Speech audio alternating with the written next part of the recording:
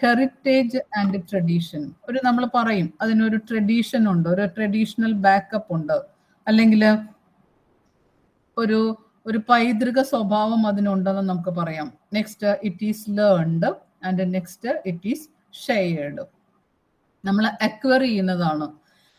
Culture എന്ന് പറയുന്നത് acquire ചെയ്യുന്നതാണ്. അക്വയർ എന്ന് പറയാൻ ലേൺഡ് ആണെന്ന് പറയാൻ കാരണം എന്താണെന്ന് വെച്ചാൽ പഴയ ചില കൾച്ചറുകളൊന്നും ചിലപ്പോ ഇന്ന് അല്ലെങ്കിൽ പണ്ട് കാലത്തുണ്ടായിരുന്ന കൾച്ചറുകളൊന്നും ചിലപ്പോ ഇന്നത്തെ കാലത്ത് ഉണ്ടാകണം എന്നില്ല അപ്പൊ പുതിയ തലമുറ പുതിയ പുതിയ കസ്റ്റംസ് അല്ലെങ്കിൽ പുതിയ പുതിയ ട്രഡീഷൻസ് ബിലീവ്സ് ഫോളോയിങ് പാറ്റേൺസ് എല്ലാം വരുന്നത് വരുത്തുന്നത് കൊണ്ട് കൾച്ചറൽ വ്യത്യാസം ഉണ്ടാവും. This is also the fourth nature of character next fifth one അതിൽ മൂന്ന് പോയിന്റ്സുകളാണ് കേട്ടോ പറയാം. നിങ്ങൾക്ക് അതിന്റെ സൈഡിൽ എഴുതി വെക്കാം. First culture traits culture complexes and culture pattern നിങ്ങൾ ലെക്ചർ നോട്ട് എഴുതാനുണ്ടെങ്കിൽ ഒന്ന് ശ്രദ്ധിക്കുക. Culture traits culture complexes and culture patterns okay ഇനി അതൊന്ന് നിങ്ങളുടെ ആ സൈഡിൽ ലെഫ്റ്റ് സൈഡിൽ നിങ്ങളുടെ ടെക്സ്റ്റിൽ സ്ഥലമുണ്ട്. അതൊന്ന് മാർക്ക് ചെയ്തിട്ടാൽ മതി. ആദ്യത്തെ പാർട്ട് എന്താണെന്നൊന്ന് ക്ലിയർ ചെയ്യാം. The smallest smallest parts of culture known as culture trades clear ആണോ? ഏറ്റവും സ്മോളസ്റ്റ് ആയിട്ടുള്ള അല്ലെങ്കിൽ നമ്മൾ പറയും ഒരു മൈനർ എലമെന്റ് ആയിട്ടുള്ള കൾച്ചറിനെ നമ്മൾ കൾച്ചർ ട്രേഡ്സ് എന്ന് പറയാം. ഇതൊക്കെ ഇങ്ങനെ മൂന്നും തന്നിട്ട് നിങ്ങളുടെ തേർഡ് പാർട്ട് ഉണ്ടല്ലോ. രണ്ടോ മൂന്നോ അത്രയും കണ്ട് മാർക്കിന്റെ ക്വസ്റ്റ്യൻ ആണത് അതിൽ സാധാരണയായിട്ട് ചോദിക്കുന്നതാണ് ഇങ്ങനെ. പിന്നെ അവിടെ ഒരു മൾട്ടി കൾച്ചറലിസം ഉണ്ട്. ദെൻ മൾട്ടിപ്പിൾ സ്കൂൾസ് നമ്മൾ ഇവിടെ നിന്ന് അങ്ങോട്ട് പോകുമ്പോൾ അങ്ങനത്തെ കുറെ കാര്യങ്ങളുണ്ട്. അതൊക്കെയാണ് ആ സെക്ഷനിൽ ചോദിക്കാൻ സാധ്യതയുള്ളത്. അല്ലെങ്കിൽ ഇപ്പോൾ ബി പാർട്ടി ചോദിക്കുന്ന ക്വസ്റ്റ്യൻ ആണ് what are the explain nature of culture അതിന്റെ ഓരോരോ പോയിന്റ്സുകളാണ് ഞാനിപ്പോൾ പറഞ്ഞത്. ഇപ്പൊ നമ്മളിപ്പോൾ വന്ന് നിൽക്കുന്നത് smallest parts of culture are known as culture trades ഇനി വിച്ച് അത് ഇത് മൂന്നും തമ്മിൽ ക്ലോസ്ലി റിലേറ്റഡ് ആണ്. അതിന്റെ കാരണം which tend to form clusters known as cultural culture complexes കുറെ കുറെ കൾച്ചേഴ്സിനെ ഉണ്ട്. അല്ലെങ്കിൽ ക്ലസ്റ്റേഴ്സിനെ ഉണ്ടാക്കുന്നു. ചില കൂട്ടങ്ങൾ. ഇപ്പോൾ ഒരേ തരം കൾച്ചറുള്ള ഒരു കൂട്ടം ആളുകൾ ഇതാണ് കൾച്ചർ കോംപ്ലക്സസ് എന്ന് പറയാം. ഇനി culture complexes in turn tend to form clusters which are known as culture patterns അതാണ് ആ മൂന്ന് കാര്യം നമ്മൾ പറഞ്ഞ ഏതൊക്കെ? Culture traits culture complexes and culture patterns clear ആയെന്ന് വിചാരിക്കുന്നു. ഇനി നെക്സ്റ്റ് അതിനൊരു എക്സാമ്പിൾ കൊടുത്തിട്ടുണ്ട്. നെക്സ്റ്റ് പോയിന്റ് ആണ് അത്. For example Indian culture include several sub sub cultures like നമ്മൾ അറിയാവല്ലോ നമ്മുടെ ഇന്ത്യയുടെ പ്രത്യേകത നമ്മൾ അന്ന് പറഞ്ഞു. യൂണിറ്റി ഇൻ ഡൈവേഴ്സിറ്റി ആണ്. പല പല സ്റ്റേറ്റുകളുണ്ട് അല്ലേ? അതുകൊണ്ട് പഞ്ചാബി കൾച്ചർ ഉണ്ട് Gujarati culture Mizo culture Tamil culture and Bengali culture example പറഞ്ഞത് മാത്രമേ ഉള്ളൂ. നമ്മൾ പറഞ്ഞ പോയിന്റ്സ് ഓക്കെ അതുപോലെ sub cultures of the whole culture have the some common threads which bind them together into a unified entity the best example is Indian culture ശരിയല്ലേ? Indian culture ആണ് അതിന് ഏറ്റവും നല്ല. അപ്പൊ ആ പാരാഗ്രാഫ് വളരെ പ്രാധാന്യമുള്ളതാണ്. അതിൽ മൂന്ന് മൂന്ന് കോൺസെപ്റ്റുകളാണ് പറയുന്നത്. Culture traits culture complexes and culture pattern അതിന്റെ എക്സാമ്പിൾ അപ്പൊ നമ്മൾ പഠിച്ചു വരുന്നത് നേച്ചർ ഓഫ് കൾച്ചർ എന്ന് പറയുന്നത്. ഓക്കെ നെക്സ്റ്റ് നെക്സ്റ്റ് പോയിന്റിൽ വരുന്നതാണ് ആന്ത്രോപോളജിസ്റ്റ് അതിൽ അതിന്റെ മെയിൻ ആയിട്ടുള്ള കാര്യം നമുക്ക് എടുക്കാം. Great variability in cultures that is no two cultures are alike എന്താ പറയാ? No two cultures are alike number of cultures ഉണ്ട് അല്ലെങ്കിൽ ഡിഫറെന്റ് ടൈപ്സ് ഓഫ് കൾച്ചേഴ്സ് ഉണ്ട്. പക്ഷേ no two cultures are alike നമ്മൾ എങ്ങനെ നോക്കിയാലും അതിനെല്ലാം ഒരു യുണീക്നെസ് ഉണ്ട്. ഒരു വ്യത്യസ്തതയുണ്ട്. അതാണ് ആ പറഞ്ഞു വരിക. ക്ലിയർ ആയോ? No two cultures are alike അത് അനദർ നേച്ചർ ആണ്. ഇനിയും നെക്സ്റ്റ് പോയിന്റ് വരുന്നതാണ്. കൾച്ചറൽ ബിഹേവിയേഴ്സ് ആർ ലേൺഡ് നമ്മൾ പറഞ്ഞ കാര്യം തന്നെ ഒന്നുകൂടി സമ്മറൈസ് ചെയ്തിരിക്കുന്നു എന്ന് മാത്രമേ ഉള്ളൂ.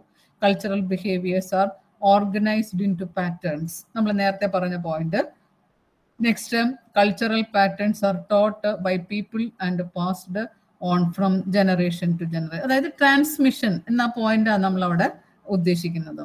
Next cultures have both material and non material നമ്മൾ പറഞ്ഞല്ലോ മെറ്റീരിയൽ ആയിട്ടുള്ളത് എന്താണെന്ന് വെച്ചാൽ മാൻ മെയ്ഡ് ടൂൾസ് അല്ലേ നോൺ മെറ്റീരിയൽ ആയിട്ടുള്ളത് എന്ന് പറഞ്ഞാൽ സർട്ടൻ സെന്റിമെന്റ്സ് മാനേഴ്സ് അങ്ങനെയുള്ള കാര്യങ്ങൾ. Cultures are uniformly shared by the members of the society അതിനകത്തുള്ള മെമ്പേഴ്സിന് യൂണിഫോം ആയിട്ടായിരിക്കും അതിന്റെ കൾച്ചർ ഷെയർ ചെയ്യുന്നത്. Next cultural behaviours become a way of life ഒരു ലൈഫിന്റെ സ്റ്റൈലാണ് അല്ലെങ്കിൽ നമ്മുടെ ഒരു ജീവിത ശൈലിയുടെ ഭാഗമായിട്ടാണ് കൾച്ചർ കൊണ്ടുപോകുക ഓക്കെ അപ്പോൾ ഇത് ക്വസ്റ്റ്യൻ ഇങ്ങനെയാണ് വരിക. എക്സ്പ്ലെയിൻ നേച്ചർ ഓഫ് കൾച്ചർ അതിന്റെ ഉള്ളിൽ രണ്ട് മാർക്കിന്റെ ക്വസ്റ്റ്യൻസ് ചോദിക്കാൻ സാധ്യതയുള്ളത് ഇത് ഈ മൂന്ന് കോൺസെപ്റ്റുകളാണ് culture trades culture complexes and cultural pattern clear ആയെന്ന് വിചാരിക്കുന്നു. Next education as an instrument of culture അപ്പൊ നിങ്ങൾ എന്ത് ചെയ്യണം? അതിന്റെ സൈഡിൽ ഒരു ക്വസ്റ്റ്യൻ എഴുതിയിടുക.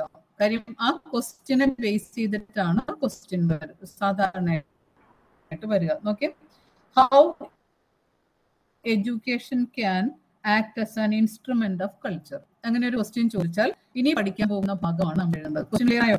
ഹൗ അല്ലെങ്കിൽ ഒരു സിമുലസ് ഫാക്ടർ ആയിട്ട് എങ്ങനെ എഡ്യൂക്കേഷൻ മാറുന്നു? അതാണ് എന്റെ ഫസ്റ്റ് അങ്ങനെ ഒരു ക്വസ്റ്റ്യൻ ചോദിച്ചാൽ എന്റെ ഫസ്റ്റ് പോയിന്റ് കൊടുക്കേണ്ടത് education as a cultural instrument performs three functions മൂന്ന് ഇത് നിങ്ങളുടെ മൊഡ്യൂൾ വളരെ ഭയങ്കര അപ്രീഷ്യബിൾ ആയിട്ടുള്ള ഇതാണ് കേട്ടോ. സോഷ്യോളജി പാർട്ട് എന്ന് പറയുന്നത്. നല്ല വേറെ ഒന്നും നമുക്ക് റെഫർ ചെയ്യേണ്ടതില്ല. ഇതിൽ നിന്ന് തന്നെ നമുക്ക് ഡെവലപ്പ് ചെയ്ത് കൊണ്ടുപോകാം. നിങ്ങൾ അത് വായിച്ചിട്ട് വേറെ ബുക്സുകളൊക്കെ എന്തെങ്കിലും ഉണ്ടെങ്കിൽ അതും കൂടെ ആഡ് ചെയ്ത് അതിന്റെ സൈഡിൽ പോയിന്റ്സുകൾ എഴുതിയിട്ട് കഴിഞ്ഞാൽ നല്ല മാർക്ക് സ്കോർ ചെയ്യാം. Okay education as a cultural instrument performs three functions first conservation transmission and renewal of culture renewal എന്ന് പറഞ്ഞാൽ എന്താ? ട്രഡീഷണൽ കൾച്ചേഴ്സ് ചിലപ്പോൾ ടൈം പാസ് ചെയ്യുന്നതനുസരിച്ച് അല്ലെങ്കിൽ സൊസൈറ്റിയുടെ ചേഞ്ചസ് അനുസരിച്ച് അല്ലെങ്കിൽ ടെക്നോളജിയുടെ ഡെവലപ്മെന്റിനനുസരിച്ച് മാറ്റം സംഭവിച്ചിട്ടുണ്ടാവാം. സോ റിന്യൂവൽ ഓഫ് കൾച്ചർ അതാണ് ഫസ്റ്റ് പോയിന്റ് എന്ന് പറയാം. Second cultural conservation sociologist commonly conceive the function of education as the transmission of culture from generation to generation ഈ ജനറേഷൻ ടു ജനറേഷനിലേക്ക് കൾച്ചർ മാറുന്നതിൽ സോഷ്യോളജിസ്റ്റുകൾ പറയുന്ന പ്രധാനപ്പെട്ട ഒരു കാര്യം എന്ന് പറയുന്നത് അത് എഡ്യൂക്കേഷൻ കൊണ്ട് മാത്രമേ പറ്റുള്ളൂ. ദ റോൾ ഓഫ് എഡ്യൂക്കേഷൻ അല്ലെങ്കിൽ only education can play the cultural conservation from generation to generation അതാണ് സെക്കൻഡ് പോയിന്റ് എന്ന് പറയാം. Next third one the post independence period attitudes towards woman ഇതൊക്കെ നമ്മൾ നോക്കിയതാണ്. പോസ്റ്റ് ഇൻഡിപെൻഡൻസ് അല്ലെ നമ്മൾ നോക്കിയതാ. നമ്മൾ അത് ഹിസ്റ്ററി എഡ്യൂക്കേഷന്റെ ഹിസ്റ്ററിനെ പല പാട്ടുകളായിട്ട് തിരിച്ച് അതിന്റെ ഉള്ളിൽ വരുന്ന ഓരോരോ കാര്യങ്ങളെല്ലാം നോക്കിയതാണ്. അപ്പൊ ഇൻഡിപെൻഡൻസിന് ശേഷം attitudes towards women and caste system have undergone a visible change ഇല്ലേ? പണ്ട് നമ്മൾ ആ സിസ്റ്റം ഒക്കെ നോക്കിയിട്ടുണ്ടെങ്കിൽ ഇത്രയില്ല ഈ വീക്കർ സെക്ഷനോ അല്ലെങ്കിൽ ഈ പറഞ്ഞ പോലത്തെ വിമൺ എഡ്യൂക്കേഷനോ ഒന്നും ഉണ്ടായിരുന്നില്ല. ഇമ്പോർട്ടൻസ് ഉണ്ടായിരുന്നില്ല. നേരെ മറിച്ച് അതിനുശേഷം നമ്മളത് മാറി. വിസിബിൾ ചേഞ്ചസ് ആയിട്ട് ഉണ്ടായി. Beliefs in old customs and rituals have progressively lost their strength and intensity clear ആയോ? അപ്പോൾ അത് ആ കാലം മാറിയതിനനുസരിച്ച് സമൂഹത്തിൽ അല്ലെങ്കിൽ ടെക്നോളജിയുടെ ഡെവലപ്മെന്റ് സോഷ്യോളജിക്കൽ ഡെവലപ്മെന്റ് വന്നതിനനുസരിച്ച് നമ്മുടെ ബിലീവ്സുകൾ മാറി കസ്റ്റംസ് മാറി റിച്വൽസ് പ്രോഗ്രസീവ് ആയിട്ട് മാറി. അതുകൊണ്ട് തന്നെ വിമൺ എഡ്യൂക്കേഷൻ പ്രോഗ്രസീവ് ആയിട്ടുള്ള എഡ്യൂക്കേഷൻ ദെൻ അങ്ങനെയുള്ള ഓരോരോ കാര്യങ്ങൾക്ക് ഇമ്പോർട്ടൻസ് കൊടുക്കാൻ തുടങ്ങി. അതാണ് തേർഡ് പോയിന്റ് എന്ന് പറയാം. നെക്സ്റ്റ് ഫോർത്ത് വൺ പറയുന്നത് the curricular and process of education must be enriched by cultural content in as many manifestation as possible കണ്ടോ? നമ്മൾ പ്രിപ്പയർ ചെയ്യുന്ന കരിക്കുലം എന്നാലും നമ്മൾ കരിക്കുലത്തിനെ കുറിച്ചൊക്കെ ഓരോരോ സെക്ഷനിൽ പഠിച്ചതാണ്. നമ്മൾ പ്രിപ്പയർ ചെയ്യുന്ന കരിക്കുലം എപ്പോഴും എങ്ങനെയുള്ളതായിരിക്കണം? കൾച്ചറൽ ട്രാൻസ്ഫോർമേഷൻസ് അല്ലെങ്കിൽ കൾച്ചറൽ ലാഗ് എന്ന് നമ്മൾ പറയും അല്ലേ? കൾച്ചറൽ ലാഗ് വരാത്ത രീതിയിലുള്ളതായിരിക്കണം. കൾച്ചറൽ അപ്ഡേഷൻ ഉള്ളതായിരിക്കണം. സൊസൈറ്റിക്കിൽ മാറ്റം ഉണ്ടാവണം. അത് എഡ്യൂക്കേഷനിൽ പുതിയ ജനറേഷൻ പഠിച്ചിട്ടും ഉണ്ടാവണം. ഓക്കെ അസ് പോസിബിൾ അതുപോലെ തന്നെ education as an accumulating role so as to redefine the sensitives and നമ്മൾ രണ്ടുതരം കൾച്ചറിനെ കുറിച്ച് നമ്മൾ കഴിഞ്ഞ ക്ലാസ്സുകളിൽ പഠിച്ചിരുന്നു. എന്താണ് അക്കൾച്ചറേഷൻ ആൻഡ് എൻകൾട്ടറേഷൻ എന്ന് പറഞ്ഞു. രണ്ട് മെയിൻ രണ്ട് പോയിന്റ്സുകൾ നമ്മൾ രണ്ടു മൂന്ന് ക്ലാസ്സുകൾ റിപ്പീറ്റഡ് ആയിട്ട് നമ്മൾ നോക്കിക്കൊണ്ടിരുന്നതാണ്. നമ്മുടെ കയ്യിൽ അതിന്റെ നോട്ട്സ് ഉണ്ടാവും. അത് എല്ലാം ഇവിടെ ആവശ്യം കണക്റ്റഡ് ആയി വരുന്നതാണ്. എഡ്യൂക്കേഷൻ ലെസൺ കണ്ട? അക്യൂമിലെ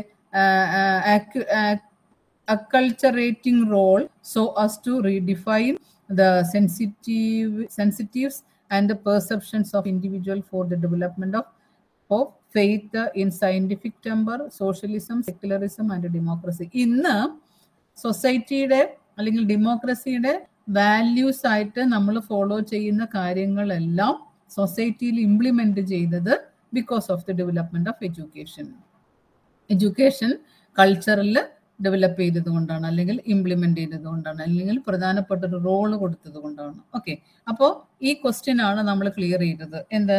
How education can act as an instrument of culture അതിൽ എത്ര പോയിന്റ്സ് ഉള്ളത്? ഫോർ പോയിന്റ്സുകൾ ക്ലിയർ ആയി എന്ന് വിചാരിക്കുന്നു. Next culture based pedagogy pedagogy means content അല്ലെ? ടെക്സ്റ്റ് അല്ലെങ്കിൽ നമ്മൾ എന്താ പറയാ? സ്കൂൾ ബേസ്ഡ് ടെക്സ്റ്റുകൾ എന്ന് വേണമെങ്കിൽ പറയാം. അല്ലെങ്കിൽ ലേണിംഗ് എക്സ്പീരിയൻസുകൾ എന്ന് പറയാം. ലേണിംഗ് ഇപ്പോൾ content learning experience learning outcomes ഇതെല്ലാം നിങ്ങൾക്ക് അറിയുള്ളത് അറിവുള്ള കാര്യങ്ങളായിരിക്കാം ചിലപ്പോൾ.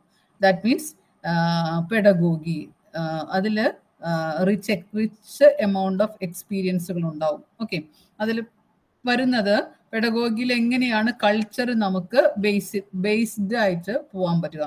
First folk tales songs music dance local arts and craft occupations of the local people local festivals etcetera may be used as teaching aids for teaching different school subject ആ ഒരു sentence അതിൽ എഴുതിയാൽ മതി. അതിൽ തന്നെ എല്ലാം ഉണ്ട്. ക്ലിയർ ആയോ? How culture based pedagogy can be ensured in the അല്ലെങ്കിൽ സ്കൂൾ സബ്ജക്ട് അങ്ങനെ ഒരു ക്വസ്റ്റ്യൻ ചോദിച്ചാൽ ഇത് ഇത്രയും ഒരു സെന്റൻസ് തന്നെ എല്ലാം ഉണ്ട്. ഫുൾ ഫ്ലെഡ്ജ്ഡ് ആണ്. എന്താ? ഫോക്ക് ടെയിൽസ് ഫോക്ക് ടെയിൽസ് എന്ന് പറഞ്ഞാൽ എന്താ? നമ്മുടെ പണ്ടത്തെ നാടൻ പാട്ടുകളോ അല്ലെങ്കിൽ നാടൻ ശീലുകളോ ആയിട്ടുള്ള കാര്യങ്ങൾ. Songs music dance local arts and craft occupation of the local people and the local festivals etc may be used എന്താക്കണം as a teaching aid for teaching different school subject ഓരോ സ്കൂൾ സബ്ജക്റ്റുകൾ പഠിപ്പിക്കുമ്പോഴും നമ്മൾ യൂസ് ചെയ്യേണ്ട teaching aid എന്ന് പറയുന്നത് നമ്മുടെ പണ്ടത്തെ കൾച്ചറുകളുമായിട്ട് ബന്ധപ്പെട്ടതായിരിക്കണം. അപ്പോഴാണ് അത് എന്തിനാണ് നമ്മൾ അങ്ങനെ ചെയ്യുന്നത്? അപ്പോഴാണ് ഒരു കൾച്ചറൽ അപ്രീസിയേഷൻ കുട്ടിയുടെ മൈൻഡിൽ ഉണ്ടാവുക. ഇത്രയും വലിയൊരു പ്രോസസ്സിൽ നിന്നാണ് ഇന്ന് നിൽക്കുന്ന സമൂഹം ഡെവലപ്പ് ചെയ്തു വരുന്നത്. ക്ലിയർ ആയോ? അതാണ് ഒരു ആദ്യത്തെ പോയിന്റ് ആയിട്ട് പറയുന്നത്. Next curriculum framework of course നിങ്ങൾക്കറിയാം. കരിക്കുലം ഫ്രെയിംവർക്ക് എവിടെ നിന്നാണ് വരുന്നത് എന്നുള്ളത്. For the quality teacher education ഇതൊക്കെ ഇന്നലെ നമ്മൾ നോക്കിയതാണ് ആണ്. യൂണിവേഴ്സിറ്റി എഡ്യൂക്കേഷൻ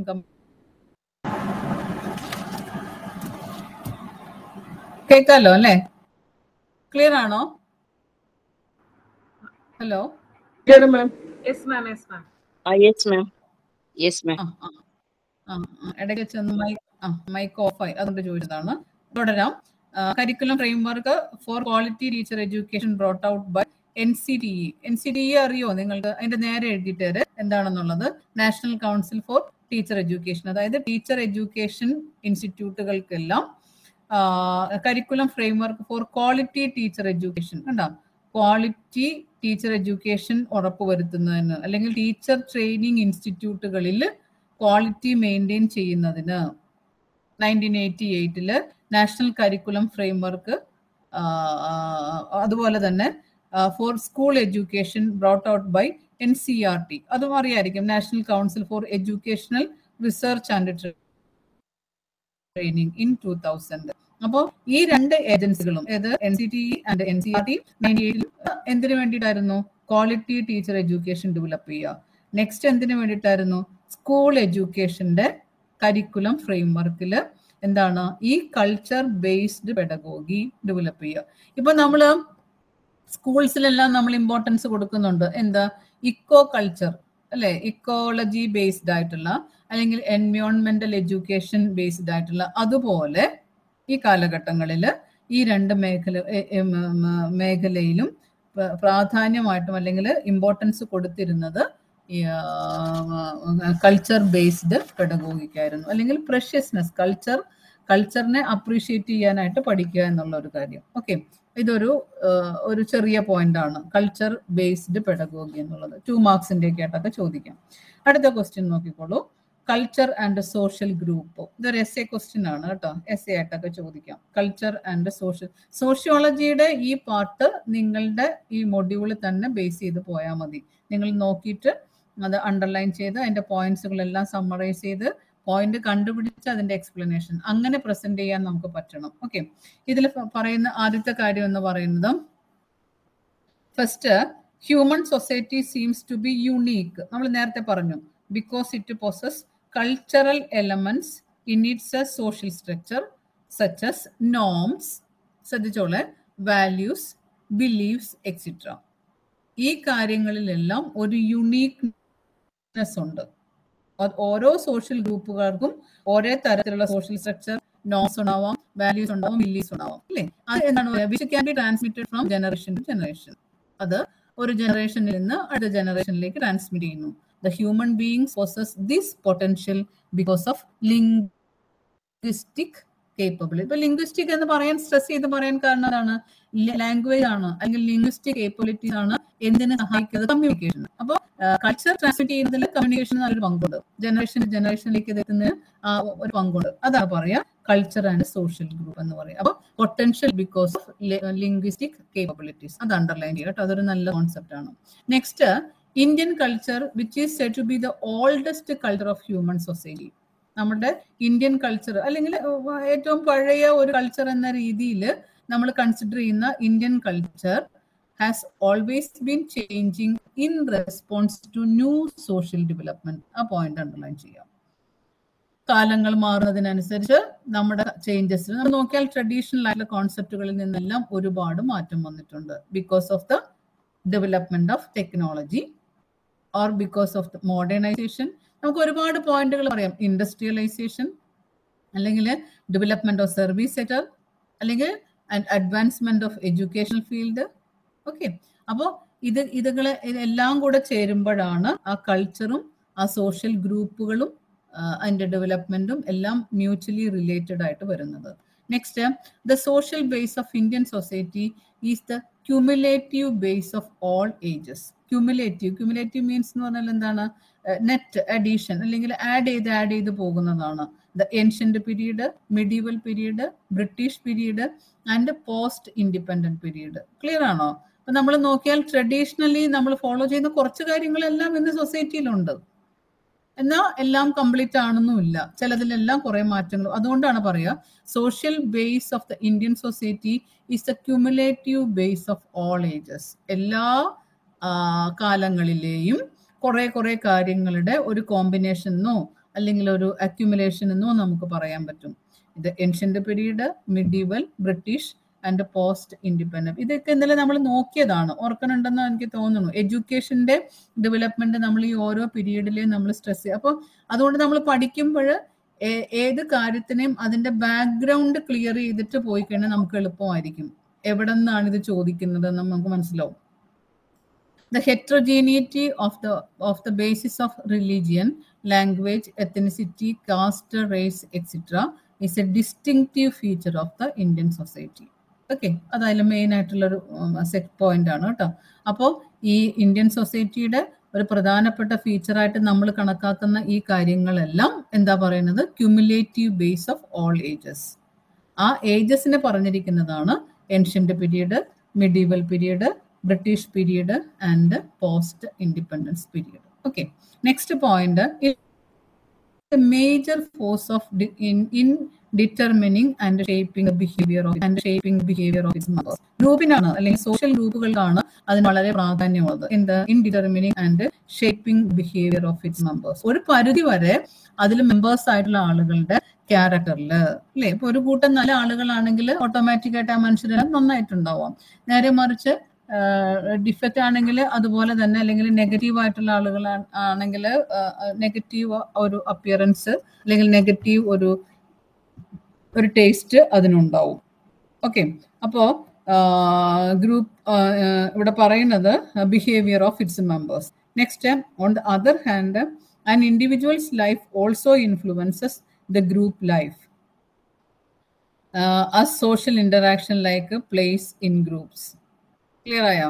ചുരുക്കി പറഞ്ഞാൽ നമ്മൾ ഏത് സോഷ്യൽ ഗ്രൂപ്പിൽ പെട്ടിരിക്കുന്നോ ആ സോഷ്യൽ ഗ്രൂപ്പിന്റെ ഒരു ഇൻഫ്ലുവൻസ് നമ്മുടെ വേ ഓഫ് ലൈഫിൽ അല്ലെങ്കിൽ നമ്മുടെ വേ ഓഫ് തിങ്കിങ്ങിൽ നമ്മുടെ ബിഹേവിയർ പാറ്റേണിൽ എല്ലാം ഉണ്ടാകും എന്നാണ് പറയാം. ഓക്കെ ഇനി ചോദിക്കുന്ന ഞാൻ പറഞ്ഞു. ചോദിക്കുന്ന ചോദ്യം ഇങ്ങനെ ആയിരിക്കും explain social group and what are its basic characteristics ഇപ്പൊ സോഷ്യൽ ഗ്രൂപ്പ് എന്ന് ചോദിക്കുമ്പോൾ ഈ മൂന്ന് പോയിന്റ്സുകളും അവിടെ മെയിൻ ആയിട്ട് സ്ട്രെസ് ചെയ്യുക എന്നിട്ട് താഴെ പറയുന്ന ക്യാരക്ടറിസ്റ്റിക്സ് ഓരോന്നോരോന്നായിട്ട് എഴുതുക. അത് ചിലപ്പോൾ ഒരു ടെൻ മാർക്സിന്റെ ഒക്കെ ക്വസ്റ്റ്യൻ ആയിട്ട് ചോദിക്കാനുള്ള ഏരിയ ഉണ്ടത് അപ്പോൾ explain social group and what are its basic characteristics social group under the under the umbrella of a cohesive culture as the following of characteristics നമുക്ക് എടുത്ത് പറയാവുന്ന കുറച്ച് ക്യാരക്ടറിസ്റ്റിക്സ് ആണ് താഴെ കൊടുക്കുന്നത്. First group policy emerges from the sim synthesised action of its members a group is called a cohesive cohesive എന്ന് പറഞ്ഞാൽ എന്താണ്? അപ്പൊ നമ്മൾ പറയില്ലേ യൂണിറ്റി ആയിട്ടുള്ള എന്ന് വെച്ചെങ്കിൽ ഒത്തൊരുമിച്ച് കമ്പൈൻഡ് ആയിട്ട് ഒരേ സ്വരത്തിൽ ഒന്നിച്ച് ഒരുപോലെ ചെയ്യുന്നതിനെയാണ് യൂണിറ്റ് ഈ if and overwhelming majority of its members agree to certain policy ഉണ്ടോ ഒത്തൊരുമിച്ച് ഒരു ഗ്രൂപ്പ് ഏതൊക്കെ രീതിയിൽ പ്രവർത്തിക്കാനുള്ള അല്ലെങ്കിൽ അങ്ങനെയുള്ള എന്തൊക്കെ കാര്യങ്ങൾക്കാണോ ഇമ്പോർട്ടൻസ് കൊടുക്കുക അതിനെ നമ്മൾ സോഷ്യൽ ഗ്രൂപ്പിന്റെ ഒരു ക്യാരക്ടറിസ്റ്റിക്സ് ആയിട്ട് നമുക്ക് പറയാം. Next there are norms governing the activities of the group norms means rules നിയമങ്ങൾ അവിടെ ഉണ്ടായിരിക്കും. എന്തൊക്കെയാണ്? What's to do and not to do എന്നുള്ളതിനെ കുറിച്ച് വ്യക്തമായിട്ടുള്ള ധാരണ ഉണ്ടായിരിക്കും. The norms in fact are the blueprint or design of the society ഗ്രൂ ആ ആ ഒരു സ്ട്രക്ചർ ആണ് അല്ലെങ്കിൽ ആ ഒരു ഡിസൈൻ ആണ് അല്ലെങ്കിൽ ആ ഒരു ബ്ലൂ പ്രിന്റ് ആണ് ആ ഗ്രൂപ്പ് ആക്ടിവിറ്റിയുടെ മെയിൻ ആയിട്ടുള്ള ഘടകം എന്ന് പറയാം okay next characteristics the group members identify themselves with the goals of the group in the given cultural context okay group മെമ്പേഴ്സിന് നമ്മൾ നേരത്തെ പറഞ്ഞല്ലോ ഗ്രൂപ്പ് മെമ്പേഴ്സിന്റെ ക്യാരക്ടറിസ്റ്റിക്സ് ഒരു തരത്തിൽ അല്ലെങ്കിൽ വേറൊരു തരത്തിൽ ആ മെമ്പേഴ്സിനെ എല്ലാം effect ചെയ്യുന്നുണ്ടായിരിക്കും. Next the group has its units number of sub ഡിവിഷൻസും ഉണ്ടാവാം അതിന്റെ ഉള്ളിൽ നമ്മൾ നേരത്തെ പറഞ്ഞില്ലേ കോംപ്ലക്സ് ക്ലസ്റ്റേഴ്സ് ഫോം ചെയ്യുന്നു എന്ന് പറഞ്ഞില്ലേ next reciprocity is the basis of the cooperation among the members of the group reciprocity എന്ന് പറഞ്ഞാൽ എന്താ? കൊടുക്കൽ വാങ്ങൽ അങ്ങോട്ടും ഇങ്ങോട്ടും. ഇപ്പൊ എന്താ പറയാ? പരസ്പര പൂരകം ഒരു നാണയത്തിന്റെ രണ്ട് സൈഡുകളായിട്ട് പ്രവർത്തിക്കുന്നു. ഏഹ് ഗിവ് ആൻഡ് ടേക്ക് എന്ന് പറയുന്നതിനൊക്കെ ഷോർട്ടായിട്ട് പറയുന്നതാണ് റെസിപ്രോസിറ്റി എന്ന് പറയാം. അപ്പോൾ these are the characteristics of social group okay അപ്പോൾ ആ ഒരു സെക്ഷൻ കഴിഞ്ഞു. ഇനി next group membership and individual behaviour അതൊരു ചെറിയ ടോപ്പിക്കാണ് വെറുതെ ജസ്റ്റ് ഒന്ന് മെൻഷൻ ചെയ്യാന്ന് മാത്രമേ ഉള്ളൂ. സോഷ്യോളജിയിൽ ഇങ്ങനെ പറയുന്ന ഒരു ഘടകവും നമുക്ക് വിട്ടുകളയാൻ പറ്റില്ല. കാരണം ഈ ടു മാർക്സിന്റെ ഒക്കെ ആയിട്ടൊക്കെ ചോദിക്കുന്നത് ഇങ്ങനെയായിരിക്കാം. മനസ്സിലായോ? What you mean by group members group membership and individual behaviour എന്ന് ചോദിച്ചാൽ നമുക്കത് പറയാനുള്ള ഒരു ഐഡിയ ഉണ്ടാവണം. എന്നിട്ട് നമ്മുടെ ലാംഗ്വേജ് വെച്ച് നമുക്ക് എഴുതാം. Every individual is a member of several social group such as a professional groups or association religious groups or cultural organisation എല്ലാവരും ഒരു തരത്തിൽ അല്ലെങ്കിൽ വേറൊരു തരത്തിൽ മെമ്പേഴ്സ് ആണ്. ഓക്കെ അതിൽ പറയുന്നത് every group sets its own norms and standards to regulate the actions and behaviour of its members ഇത്രേ ഉള്ളൂ. ഇൻഡിവിജ്വൽ ബിഹേവിയറിൽ അതിനെ ഇൻഫ്ലുവൻസ് ചെയ്യുന്നതിന്റെ മെയിൻ ആയിട്ടുള്ള ഘടകം എന്ന് പറയുന്നത് ഓരോ every group sets its own norms and standards എന്തിനാണ്? To regulate the actions and behaviour of its members അതിന്റെ പാർട്ടിസിപ്പൻസിന് കുറച്ച് കുറച്ച് റെഗുലേഷൻസ് വെക്കുന്നുണ്ട്. ഗ്രൂപ്പ് മെമ്പേഴ്സ് ഇന്ന രീതിയിലുള്ള മര്യാദകൾ അല്ലെങ്കിൽ മാനേഴ്സ് ഫോളോ ചെയ്യുക ഡിസിപ്ലിൻസ് ഫോളോ ചെയ്യുക. അല്ലെങ്കിൽ ഈ ഗ്രൂപ്പിന്റെ മെയിൻ ആയിട്ടുള്ള ആക്ടിവിറ്റീസ് ഇന്നതെല്ലാമാണ്. ക്ലിയർ ആയോ? അങ്ങനെയുള്ള കാര്യങ്ങൾ. And individual member violating the group norms and policies may lose membership of the group അതും അതിന്റെ ഒരു ഭാഗമാണ്. ഈ റിട്ടേൺ ആയിട്ട് എഴുതി വെച്ചിരിക്കുന്ന നോംസിനും റെഗുലേഷൻസിനും എതിരെ ആരെങ്കിലും വയലേഷൻ നടത്തിയാൽ എന്ത് ചെയ്യാം? അങ്ങൊരു ഡിസ്മിസ് ചെയ്ത് കളയാം. Lose membership of the group next and influential and enlighten member of the group may try and succeed in modifying the group norms and policies നമ്മൾ പറയുമല്ലോ അതിൽ കുറേയൊക്കെ ഇലക്ടഡ് സെലക്റ്റഡ് ആയിട്ടുള്ള മെമ്പേഴ്സ് ഉണ്ടാവാം. അല്ലെങ്കിൽ എക്സിക്യൂട്ടീവ് ബോഡി ആയിട്ടുണ്ടാവാം. അപ്പോൾ ഇൻഫ്ലുവൻഷ്യൽ ആയിട്ടുള്ള അല്ലെങ്കിൽ നമുക്ക് എടുത്തു പറയത്തക്ക കുറെ കുറെ വ്യക്തിത്വങ്ങളെ പേഴ്സണാലിറ്റികളെ എല്ലാം ആ ഗ്രൂപ്പ് മെമ്പേഴ്സുകളിലൂടെ ആ ഗ്രൂപ്പ് പാർട്ടിസിപ്പൻ പാർട്ടിസിപ്പേഷനിലൂടെ മറ്റ് മെമ്പേഴ്സിനെല്ലാം അതൊരു ബെനിഫിറ്റ് ആയിട്ട് മാറും. അടുത്ത പോയിന്റ് പ്രധാനപ്പെട്ടതാണ്. The group provides it members with a primary lesson of social and cultural life. അത് അണ്ടർലൈൻ ചെയ്യണം. നിങ്ങളുടെ കയ്യിൽ ഉണ്ടെങ്കിൽ അല്ലെങ്കിൽ നോട്ടായിട്ട് എഴുതി വെക്കുക. പോയിന്റ് എക്സ്പ്ലെയിൻ ചെയ്യേണ്ടതിൽ കൊടുക്കേണ്ട ഒരു പോയിന്റ് ആണ് കേട്ടോ primary lesson of social and cultural life. സോഷ്യലും ആയിട്ടുള്ള അതുപോലെ കൾച്ചറൽ ആയിട്ടുള്ള ലൈഫിന് ഒരു ജീവിതചര്യയുടെ പ്രൈമറി ലെസൺസ് പ്രൊവൈഡ് ചെയ്യുന്നത് ഗ്രൂപ്പാണ് the group provides its members with primary lessons of social and cultural life okay the traits like എന്തൊക്കെയാണ് സോഷ്യലി അക്സെപ്റ്റഡ് ആയിട്ടുള്ള ഗുണങ്ങൾ എന്തൊക്കെയായിരിക്കണം? Tolerance accommodation sympathy are necessary for our participation in group life and അപ്പം നമ്മളൊരു സൊസൈറ്റിയുടെ ഭാഗമാണ്? പ്രത്യേകിച്ച് ഇന്ത്യയുടെ India എന്ന് പറയുന്ന ഡെമോക്രാറ്റിക് കൺട്രിയുടെ ഭാഗമാണ്? എങ്കിൽ every citizen must follow tolerance accommodation sympathy secularism അല്ലേ നമ്മുടെ വാല്യൂസുകളെല്ലാം നമ്മൾ ഫോളോ ചെയ്യാൻ. The individual in the group realises that it is on the basis of social relations that the existence of the group is possible. കേട്ടോ social relations റിലേഷൻഷിപ്പിലൂടെയാണ് ഒരു സൊസൈറ്റിയുടെ betterment ഉണ്ടാവുക. Better relations develops better development of social group clear ആയി? അപ്പൊ അത് ആ paragraph വളരെ പ്രാധാന്യമുള്ളതാണ് കേട്ടോ. ഒരു സൊസൈറ്റിയാണ് ഈ പറഞ്ഞ കാര്യങ്ങളെല്ലാം ഡെവലപ്പ് ചെയ്ത് കൊടുക്കുന്നത്.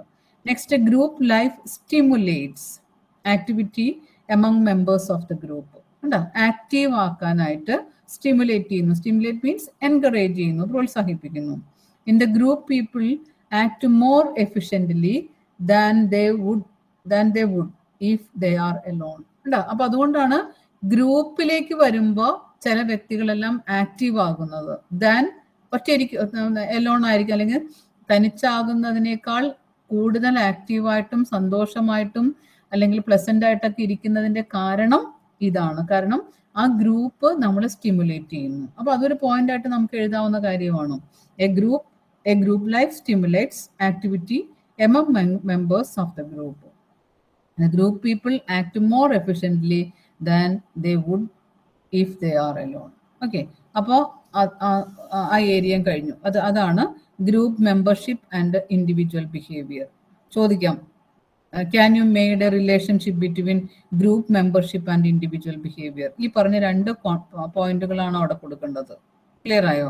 അവരുടെ പേഴ്സണൽ ലൈഫിൽ ഇൻഫ്ലുവൻസ് ചെയ്യുന്നു.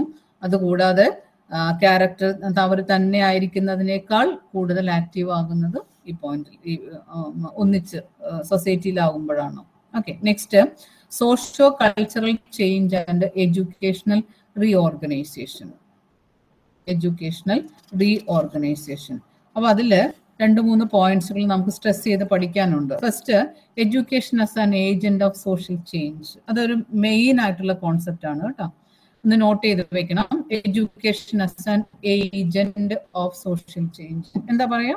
സമൂഹത്തിന്റെ മാറ്റത്തിന് എഡ്യൂക്കേഷൻ ഒരു ഏജന്റ് ആയിട്ട് അല്ലെങ്കിൽ ഒരു ഉപാധിയായിട്ട് അല്ലെങ്കിൽ മീഡിയേറ്റർ ആയിട്ട് പ്രവർത്തിക്കുന്നു. അതിന് നാല് കാര്യങ്ങളാണ് മെയിൻ ആയിട്ട് കൊടുത്തിരിക്കുന്നത്. ഒന്ന് like political system, economic system, and the legal system, education is also powerful agent of social change അത് ഫസ്റ്റ് പോയിന്റ് എഴുതിക്കോളും. അല്ലെങ്കിൽ മാർക്ക് ചെയ്ത് വെച്ചോ. പൊളിറ്റിക്കൽ സിസ്റ്റം പോലെ ഇക്കണോമിക് സിസ്റ്റം പോലെ ലീഗൽ സിസ്റ്റം പോലെ തന്നെ എഡ്യൂക്കേഷനും is also powerful agent in social change സമൂഹത്തിന്റെ മാറ്റങ്ങൾ വരുത്തുന്നതിൽ ഈ എല്ലാ എലമെന്റുകളെയും പോലെ തന്നെ എഡ്യൂക്കേഷനും ഇമ്പോർട്ടന്റ് ഇമ്പോർട്ടന്റ് ആണ്. Next education brings about changes in attitudes beliefs and values of individual which lay the foundation for social change കണ്ടോ? സൊസൈറ്റിയുടെ മാറ്റത്തിന് ആവശ്യമായിട്ടുള്ള ഘടകങ്ങൾ അത് നല്ല നല്ല ആറ്റിറ്റ്യൂഡ് മനോഭാവങ്ങൾ ബിലീവ്സ് വിശ്വാസങ്ങൾ ആൻഡ് വാല്യൂസ് മൂല്യങ്ങൾ. അത് വ്യക്തികളിലേക്ക് കൊടുക്കുന്നത് എഡ്യൂക്കേഷൻ ആണ്. Education brings about changes in attitudes beliefs and values of individual which lay the foundation for social change clear ആയെന്ന് വിചാരിക്കുന്നു. അതാ നെക്സ്റ്റ് പോയിന്റ് ആണ് കേട്ടോ. ഇനി third one during the post independence period the attitude of majority of Indians towards women education caste system and inter caste marriage have become relatively positive നമ്മൾ കഴിഞ്ഞ കഴിഞ്ഞ ദിവസത്തെ ക്ലാസ്സുകളിലൊക്കെ നോക്കിയിട്ട് നോക്കിയപ്പോൾ നമ്മൾ പറഞ്ഞു ഈ പറഞ്ഞ സെക്ഷനുകളിലെല്ലാം ഒരു വ്യത്യാസം ഉണ്ടായിരുന്നു. ഏത്? വിമൺ എഡ്യൂക്കേഷൻ വേണ്ടത്ര പ്രോത്സാഹനം ഉണ്ടായിരുന്നില്ല. കാസ്റ്റ് സിസ്റ്റം അത് റിജിഡ് ആയിരുന്നു.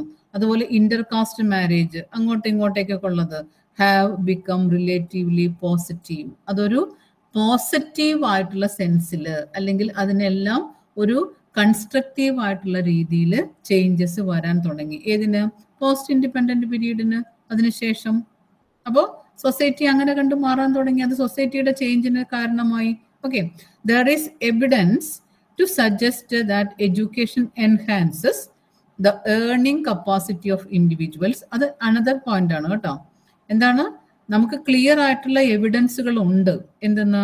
എഡ്യൂക്കേഷൻ എൻഹാൻസസ് വിദ്യാഭ്യാസം ഡെവലപ്പ് ചെയ്യുന്നു. എന്ത് ഏർണിംഗ് കപ്പാസിറ്റി ഓഫ് ഇൻഡിവിജ്വൽസ് ആളുകളുടെ സമ്പാദ്യശീലം. അല്ലെങ്കിൽ ഒന്നുകൂടെ പറഞ്ഞാൽ per capita income of individual അല്ലെ ആളുകളുടെ ആളോഹരി വരുമാനം വർദ്ധിക്കാൻ തുടങ്ങി. ആ പെർ ക്യാപിറ്റ ഇൻകം എന്ന് പറഞ്ഞത് എന്തിനെ ആശ്രയിച്ചിരിക്കും? Depends upon the work be done മനസ്സിലായി? നമ്മൾ ചെയ്യുന്ന തൊഴിലിനെ ആശ്രയിച്ചിരിക്കുന്നു. അപ്പൊ relate earning capacity of individuals which improves their lifestyle including concern for personal hygiene ഉണ്ടാ ഇങ്ങനെയുള്ള നമ്മളുടെ കാര്യങ്ങൾ അല്ലെങ്കിൽ മൂന്ന് മൂന്ന് കാര്യങ്ങൾ അതിൽ മെയിനായിട്ട് പറഞ്ഞിരിക്കുന്നത്. Political system economic system legal system പോലെ തന്നെ എഡ്യൂക്കേഷനും ഒരു പവർഫുൾ ആയിട്ടുള്ള ഏജന്റ് ആണ്. നെക്സ്റ്റ് പറയുന്നത് പോസ്റ്റ് ഇൻഡിപെൻഡൻസിന് ശേഷം ആളുകളുടെ ആറ്റിറ്റ്യൂഡിൽ ബിഹേവിയറിലൊക്കെ മാറ്റം വന്നു. തേർഡ് പറയുന്നത് ആളുകളുടെ earning capacity of individuals which improve അത് ഇംപ്രൂവ് ആയി. മനസ്സിലായോ? The lifestyle including concern for അതുപോലെ തന്നെ പേഴ്സണൽ നമ്മുടെ ഹൈജീൻ നമ്മുടെ ഫുഡ് ഹാബിറ്റ് അല്ലെങ്കിൽ നമ്മുടെ സ്റ്റാൻഡേർഡ് ഓഫ് ചുരുക്കി പറഞ്ഞാൽ സ്റ്റാൻഡേർഡ് ഓഫ് ലിവിങ് എന്ന് പറയാം. സ്റ്റാൻഡേർഡ് ഓഫ് ലിവിങ് ജീവിത നിലവാരം ഉയരാൻ തുടങ്ങി. അങ്ങനെ മൂന്ന് പോയിന്റ് ആണ് അതിൽ വരുന്നത്. ഇനി fourth point the government make an attempt to bring about social change through legislation അത് മെയിൻ ആയിട്ടുള്ള ഒരു പോയിന്റ് ആണ് കേട്ടോ. നിയമനിർമ്മാണത്തിലൂടെ ഗവൺമെന്റ് ആക്ഷൻസ് എടുക്കാൻ തുടങ്ങി. ബട്ട് മെനി പക്ഷെ അതിൽ കുറെ കുറെ ലിമിറ്റേഷൻസ് ഉണ്ട്. ക്രിറ്റിസിസംസ് ഒക്കെ നമുക്ക് ഒരുപാട് പറയാനുണ്ടാവും. എന്നാലും പണ്ടത്തേലൊക്കെ കുറെ മാറ്റങ്ങൾ വന്നിട്ടുണ്ട്. അതിൽ വരുന്ന ഒരു കാര്യമാണ് എന്ത്? Practice of sati and untouchability have been banned അല്ലേ പണ്ട് ട്രഡീഷണൽ ആയിട്ട് ഉണ്ടായിരുന്ന കാര്യമാണ് ഈ പറഞ്ഞ കാര്യങ്ങൾ. അതെല്ലാം മാറ്റം വന്നു. അതൊക്കെ നിയമനിർമ്മാണത്തിലൂടെയാണ്. ഓരോരോ റൂളേഴ്സ് അങ്ങനെ നിയമം കൊണ്ടുവന്ന് അതാണ് അങ്ങനെയുള്ള ഒരു എന്താ പറയാ ഒരു പ്രജുഡൈസ്ഡ് ആയിട്ടുള്ള അല്ലെങ്കിൽ ഒരു ഓരോ രീതിയിലുള്ള അന്ധവിശ്വാസങ്ങളെ മാറ്റിയെടുത്തത്. അതെല്ലാം സോഷ്യൽ ചേഞ്ചിന്റെ ഭാഗമാണ് അങ്ങനെ ഫോർ പോയിന്റ് ആണ് education can act as a social changer അല്ലെങ്കിൽ എഡ്യൂക്കേഷൻ ഡെവലപ്സ് സോഷ്യൽ ചേഞ്ചസ് എന്ന് പറയുന്നതിൽ നമുക്ക് കൊടുക്കാവുന്ന നാല് points next impact of social change in education നമ്മൾ നേരത്തെ പറഞ്ഞത് തിരിച്ചു പറഞ്ഞതാണ് വീണ്ടും. Education as an agent of social change അത് ക്ലിയർ ആണോ? സോഷ്യൽ ചേഞ്ചിന് എഡ്യൂക്കേഷൻ ഒരു ഏജന്റാ നെക്സ്റ്റ് പറയുന്നു impact of social change on education കണ്ടോ?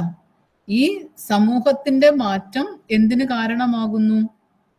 ആ എഡ്യൂക്കേഷന്റെ ചേഞ്ചസിന് കാരണമാകുന്നു. അതന്നെയാണ് നമ്മൾ റെസിപ്രോക്കൽ റിലേഷൻ എന്ന് പറയാ. കൊടുക്കൽ വാങ്ങലാണ്. ചേഞ്ച് എഡ്യൂക്കേഷൻ ചേഞ്ച് ചെയ്യുന്നു. സൊസൈറ്റിയെ സൊസൈറ്റിയുടെ ചേഞ്ചസ് എഡ്യൂക്കേഷനിലേക്കും ചേഞ്ചസ് വരുത്തുന്നു. ക്ലിയർ ആണോ? അപ്പൊ അതിൽ വരുന്ന മെയിൻ പോയിന്റ് ആണ് നമ്മൾ പറഞ്ഞു. പണ്ട് എഡ്യൂക്കേഷനിൽ മാറ്റം വരുത്തിയത് നമ്മൾ ഇന്നലെ കുറെ പറഞ്ഞതാണ്. ഗുരുകുല സിസ്റ്റത്തിൽ ഇൻസ്റ്റി പിള്ളേരെ എങ്ങനെയാ താമസിച്ചിരുന്നത്? ആശ്രമങ്ങളിൽ അല്ലേ? അത് കഴിഞ്ഞ് ഇങ്ങോട്ടേക്ക് വരുമ്പോൾ മൊണോസ്ട്രികളിൽ താമസിച്ചിട്ടുണ്ട്. ദെൻ ഇസ്ലാം എഡ്യൂക്കേഷനിലേക്ക് അല്ലെങ്കിൽ മിഡീവൽ കാലഘട്ടത്തിലേക്കൊക്കെ വരുമ്പോൾ ആ രീതിയിലുള്ള രീതി അല്ലെങ്കിൽ മദ്രസിലോ മദ്രസകളോ മക്തബുകളോ അങ്ങനെയുള്ള സ്ഥലങ്ങളൊക്കെ ആയിരുന്നു എഡ്യൂക്കേഷണൽ ഇൻസ്റ്റിറ്റ്യൂഷൻസ് ആയിട്ട് മാറിയിരുന്നത്. ദെൻ അത് കഴിഞ്ഞ് ഇന്ന് ഒരുപാട് മാറി അല്ലേ പ്രൈമറി എഡ്യൂക്കേഷൻ നമ്മുടെ ഫ്രീ ആൻഡ് കമ്പൽസറി എഡ്യൂക്കേഷൻ അത് ഫണ്ടമെന്റൽ റൈറ്റ് ആയിട്ട് മാറിയതോടുകൂടി ഒരുപാട് കാര്യങ്ങളിൽ മാറ്റം വന്നു. അതാണ് impact of social change on education എന്ന് പറയാം. ക്ലിയർ ആയെന്ന് ഞാൻ വിചാരിക്കുന്നു. രണ്ടും അങ്ങോട്ടും ഇങ്ങോട്ടും സപ്പോർട്ട് ചെയ്യുന്ന കാര്യമാണ് നമ്മൾ പറയുന്നത് കേട്ടോ. അതുപോലെ നമ്മുടെ പാഠ്യ വിഷയങ്ങളിലും മാറ്റം വന്നിട്ടുണ്ട്. നമ്മൾ പഠിച്ചിരുന്നത് ഇപ്പൊ റിലീജിയസ് ആയിട്ടുള്ള കോൺസെപ്റ്റുകളോ അല്ലെങ്കിൽ റിലീജിയസ് ആയിട്ടുള്ള കാര്യങ്ങളാണ് കരിക്കുലത്തിൽ ഇംപ്ലിമെന്റ് ചെയ്തിരുന്നത് എങ്കിൽ കാലം മാറുന്നതിനനുസരിച്ച് ഒരുപാട് മാറ്റം വന്നു. ഈ ഈ ഡ്രാസ്റ്റിക് ചേഞ്ചസ് വരുത്തിയത് എന്താണെന്നാണ് പറയാം? ആധുനിക കാലഘട്ടത്തിൽ അല്ലെങ്കിൽ പ്രസന്റ് വേൾഡിൽ എസ് എസ് എ നമ്മൾ കേട്ടിട്ടുണ്ടാവും. സർവശിക്ഷ അഭയാൻ എന്ന് പറയുന്നത് അല്ലെ? Indeed the culmination of previous efforts and initiative to achieve goal of education for all എല്ലാവർക്കും വിദ്യാഭ്യാസം എന്ന് എല്ലാ സിസ്റ്റം ഓഫ് എഡ്യൂക്കേഷനിലും പറയുന്നുണ്ടെങ്കിലും സർവശിക്ഷ അഭയാനാണ് അത് ഒരു പരിധി വരെയെങ്കിലും അച്ചീവ് ചെയ്യാനായിട്ട് അല്ലെങ്കിൽ നേടിയെടുക്കാനായിട്ട് ഹെൽപ്പ് ചെയ്തത്. അത് ഉദ്ദേശിക്കുന്ന ഇതാണ് എഡ്യൂക്കേഷൻ ഫോർ ഓൾ അല്ലേ? നമ്മുടെ സ്കൂൾസ് ഒക്കെ നോക്കിയിട്ടുണ്ടെങ്കിൽ നമ്മുടെ പബ്ലിക് എഡ്യൂക്കേഷൻ സിസ്റ്റം പ്രത്യേകിച്ച് പ്രൈമറി സെക്കൻഡറി സിസ്റ്റം എല്ലാം ഭയങ്കര ചേഞ്ചസ് വന്നത് എസ് എസ് കൂടിയാണ് അപ്പൊ രണ്ട് കോൺസെപ്റ്റ് ആണ് കേട്ടോ education helps to social change and social change leads the development of education okay next point need for educational reorganisation educational reorganisation അതിൽ അങ്ങനെ കാര്യമായിട്ട് ഒന്നും പറയാനില്ല. എന്തിനാണ് എഡ്യൂക്കേഷണൽ റീഓർഗനൈസേഷൻ ഇപ്പൊ നമ്മൾ പറയും ടെക്നോളജിയുടെ ഇമ്പാക്റ്റുകൾ എഡ്യൂക്കേഷനിൽ വരുമ്പോൾ കുട്ടികളുടെ സയന്റിഫിക് മൈൻഡ് ഡെവലപ്പ് ചെയ്യും. ഇന്നവേറ്റീവ് മൈൻഡ് ഡെവലപ്മെന്റ് ഡെവലപ്പ് ചെയ്യും. റാദർ ദാൻ തിയററ്റിക്കൽ നോളജ് എന്ന് വെച്ചാൽ തിയററ്റിക്കൽ നോളജിനേക്കാൾ അധികമായിട്ട് പ്രാക്ടിക്കൽ നോളജുകൾ അക്വയർ ചെയ്യാനുള്ള ഒരു ഒരു റീഇൻഫോഴ്സ്മെന്റ് സ്റ്റുഡൻസിലുണ്ടാവും അതാണ് എഡ്യൂക്കേഷണൽ റീഓർഗനൈസ് അതൊരു കൊച്ച് ഒരു ചെറിയ ഒരു കോൺസെപ്റ്റ് അവിടെ ക്ലിയർ ചെയ്ത് പോകുന്നു എന്ന് മാത്രമേ ഉള്ളൂ. അടുത്തത് ഒരു നിങ്ങൾ പഠിച്ചിരുന്നത് തന്നെയാണ്. അടുത്ത ഒരു എസ് എ ക്വസ്റ്റ്യൻ ആണ്. അതോടെ കഴിഞ്ഞാൽ ആ മോഡ്യൂൾ കഴിയും. Okay socio cultural change and reinterpretation of educational goals ഇതിൽ പറയുന്നത് acculturating role of education acculturating നമ്മൾ കഴിഞ്ഞ പറഞ്ഞതാണ് അക്കൾച്ചറേഷൻ അല്ലേ? നമ്മൾ പറഞ്ഞത് യങ്ങർ ജനറേഷന്റെ കാര്യമൊക്കെ. അപ്പൊ അത് മെയിൻ ആയിട്ട് പറയുന്ന കാര്യം ഇത്രയേ ഉള്ളൂ. Country the country is submitted to secularism but not fundamentalism but the prevalence of superstitious and irrational way of thinking is still widespread in society എന്താ പറഞ്ഞിരിക്കുക അക്കൾച്ചറേഷൻ കൊണ്ട് ഉദ്ദേശിക്കുന്നത് എന്താണ്? ട്രഡീഷണൽ ആയിട്ട് നമ്മൾ യങ് ജനറേഷൻസിന് വാല്യൂസ് പ്രൊവൈഡ് ചെയ്യുന്നു എന്നുള്ളത്. അപ്പോൾ ഇവിടെ പറയുന്ന കാര്യം അതാണ്. നമ്മുടെ രാജ്യത്തിൽ അല്ലെങ്കിൽ പ്രത്യേകിച്ച് ഇന്ത്യ എന്ന് പറയുന്ന രാജ്യത്തിൽ നമ്മുടെ നമ്മുടേതായിട്ടുള്ള ഒരു യുണീക്നെസ് ഉണ്ട്. ഫസ്റ്റ് നമ്മൾ പറയും എന്താ പറയുക യൂണിറ്റി ഇൻ ഡൈവേഴ്സിറ്റി ആണ്. ആ കൾച്ചറുകളെല്ലാം അത് അതിന്റെതായിട്ടുള്ള രീതിയിൽ പ്രഷ്യസ് ചെയ്ത് അല്ലെങ്കിൽ ആ പ്രഷ്യസ്നെസ് നിലനിർത്തിക്കൊണ്ട് പുതിയ ജനറേഷനിലേക്ക് ട്രാൻസ്മിറ്റ് ചെയ്യുന്നത്. ഓക്കെ ആ കാര്യമാണ് അതിൽ വരിക. നെക്സ്റ്റ് പോയിന്റ് പ്രധാനമുള്ളതാണ് എപ്പോഴും ചോദിച്ചു കാണുന്ന ഒരു കോൺസെപ്റ്റ് ആണ് multi culturalism multi culturalism multi culture എന്ന് പറഞ്ഞാൽ എന്താണ്? ഡിഫറെന്റ് ടൈപ്സ് ഓഫ് അല്ലെങ്കിൽ combination of different cultures like many other societies cultural pluralism എന്നും പറയാം അതിനെ കേട്ടോ. കൾച്ചറൽ പ്ലൂറലിസം എന്ന് പറഞ്ഞാൽ എന്താണ്? ഇതുപോലെ തന്നെ മൾട്ടി കൾച്ചർ പല പല കൾച്ചറുകളുടെ combination is a basic characteristics of Indian society also നമ്മുടെ തന്നെ. ഞാനിത് പറഞ്ഞതാണ് വീണ്ടും വീണ്ടും ഒന്നും പറയണില്ല. The scope for dialogue among different cultures and subcultures has increased tremendously because of the rapid advances in the means of transport and communication നമ്മുടെ ഈ മേഖല മാത്രമല്ല technology vocational primary secondary tertiary ഇങ്ങനെയുള്ള എല്ലാ മേഖലകളുടെയും ഡെവലപ്മെന്റുകളുടെ ഫലമായിട്ട് കൾച്ചറിൽ കൾച്ചർ സെക്ടറിൽ ഡ്രാസ്റ്റിക് ചേഞ്ചസ് ഉണ്ടായിട്ടുണ്ട്.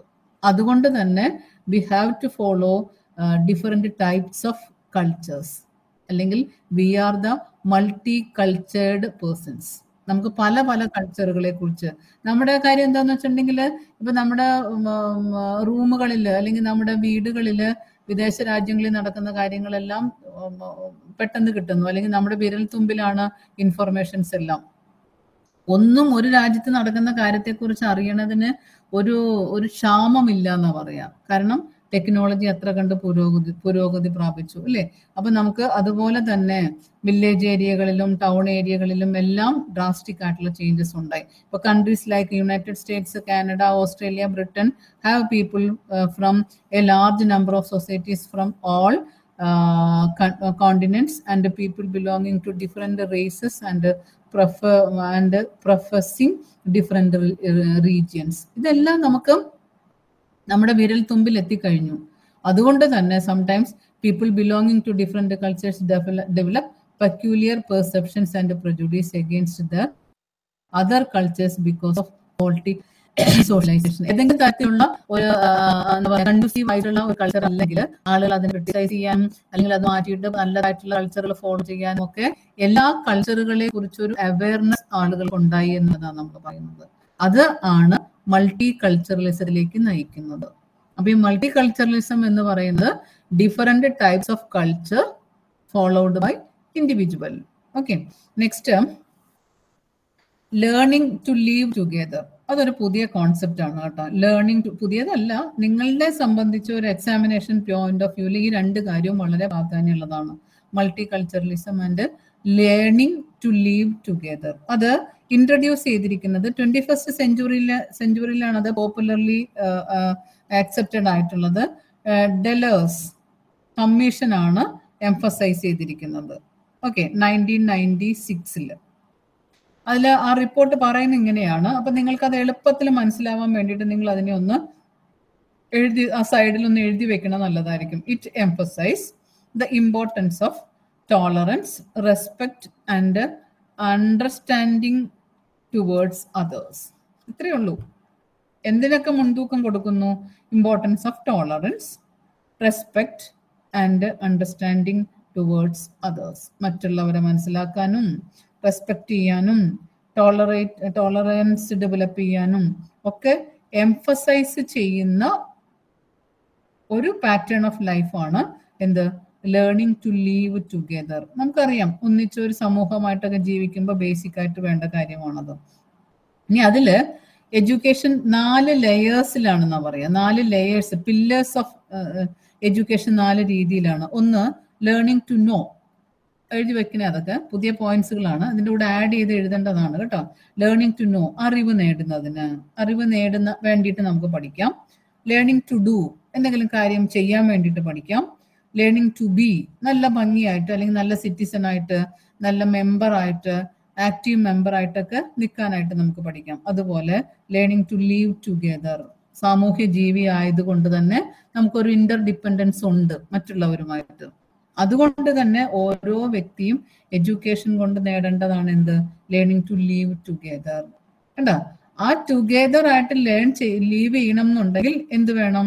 Importance of tolerance respect and understanding towards others അതുണ്ടായാൽ മാത്രമാണ് ഒരു കമ്മ്യൂണിറ്റിയിൽ അല്ലെങ്കിൽ ഒരു സൊസൈറ്റിയിലും നമുക്ക് ആക്റ്റീവായിട്ട് റോൾ റോൾ ചെയ്യാൻ പറ്റുള്ളൂ അല്ലെങ്കിൽ പാർട്ടിസിപ്പേറ്റ് ചെയ്യാൻ പറ്റുള്ളൂ. അതൊരു പുതിയ കോൺസെപ്റ്റ് ആണ്. ഇത് രണ്ടും വളരെ പ്രാധാന്യമുള്ളതാണ്. Multiculturalism and learning to live together അപ്പോൾ ഇതാണ് നിങ്ങളുടെ ഫസ്റ്റ് ആ മൊഡ്യൂളിന്റെ സെക്ഷൻ എന്ന് പറയാം. ഓക്കെ ഇതിൽ ആ സോഷ്യോളജിയുടെ പാർട്ടിൽ ഒന്നും കളയാനില്ല കേട്ടോ. അതിൽ ഓരോ പോയിന്റുകളും എക്സാമിനേഷൻ പോയിന്റ് ഓഫ് വ്യൂൽ കാര്യം വളരെ പോയിന്റ് ചെയ്ത് കൊടുത്തിട്ടുള്ളെങ്കിലും അത് ആവശ്യമുള്ളതാണ്. ഇനി അടുത്ത സെക്ഷൻ നിങ്ങളൊന്ന് നോക്കിയിട്ടുണ്ടെങ്കിൽ അറിയാം. ഇന്നലെ ഞാൻ പറഞ്ഞതിനെ എല്ലാം എല്ലാം ഇവിടെ ഉണ്ട്. അതിനെ ഞാൻ ഞാൻ പറഞ്ഞല്ലോ എഡ്യൂക്കേഷൻ ഡെവലപ്പ് ചെയ്ത് പോരുന്നതിനനുസരിച്ച് ഞാൻ അതിനൊരു ഫ്ലോ ചാർട്ടാക്കി നിങ്ങൾക്ക് ഒന്നിച്ച് ഒതുക്കി തന്നതാണ്. ഏതാ? ഏൻഷ്യന്റ് ഇന്ത്യൻ എഡ്യൂക്കേഷൻ നിങ്ങൾ പഠിക്കേണ്ടതാ? വേദിക് എഡ്യൂക്കേഷൻ ഇന്നലെ നമ്മൾ പഠിച്ചു. Post Vedic education Brahmanic education education in Dharmashastra. അത് പഠിച്ചിട്ടില്ല. അത് നോക്കാം. Buddhist system of education okay ആ കാലഘട്ടത്തിൽ ഇതെല്ലാം കഴിഞ്ഞതാണ്. ഇന്ത്യൻ എഡ്യൂക്കേഷൻ ഇൻ മിഡീവൽ അതിൽ വരുന്നതാണ് ഇസ്ലാമിക് ഇതിന്റെ എല്ലാ ഫീച്ചേഴ്സ് ആണ് കേട്ടോ നമ്മൾ ശ്രദ്ധിക്കേണ്ടത്.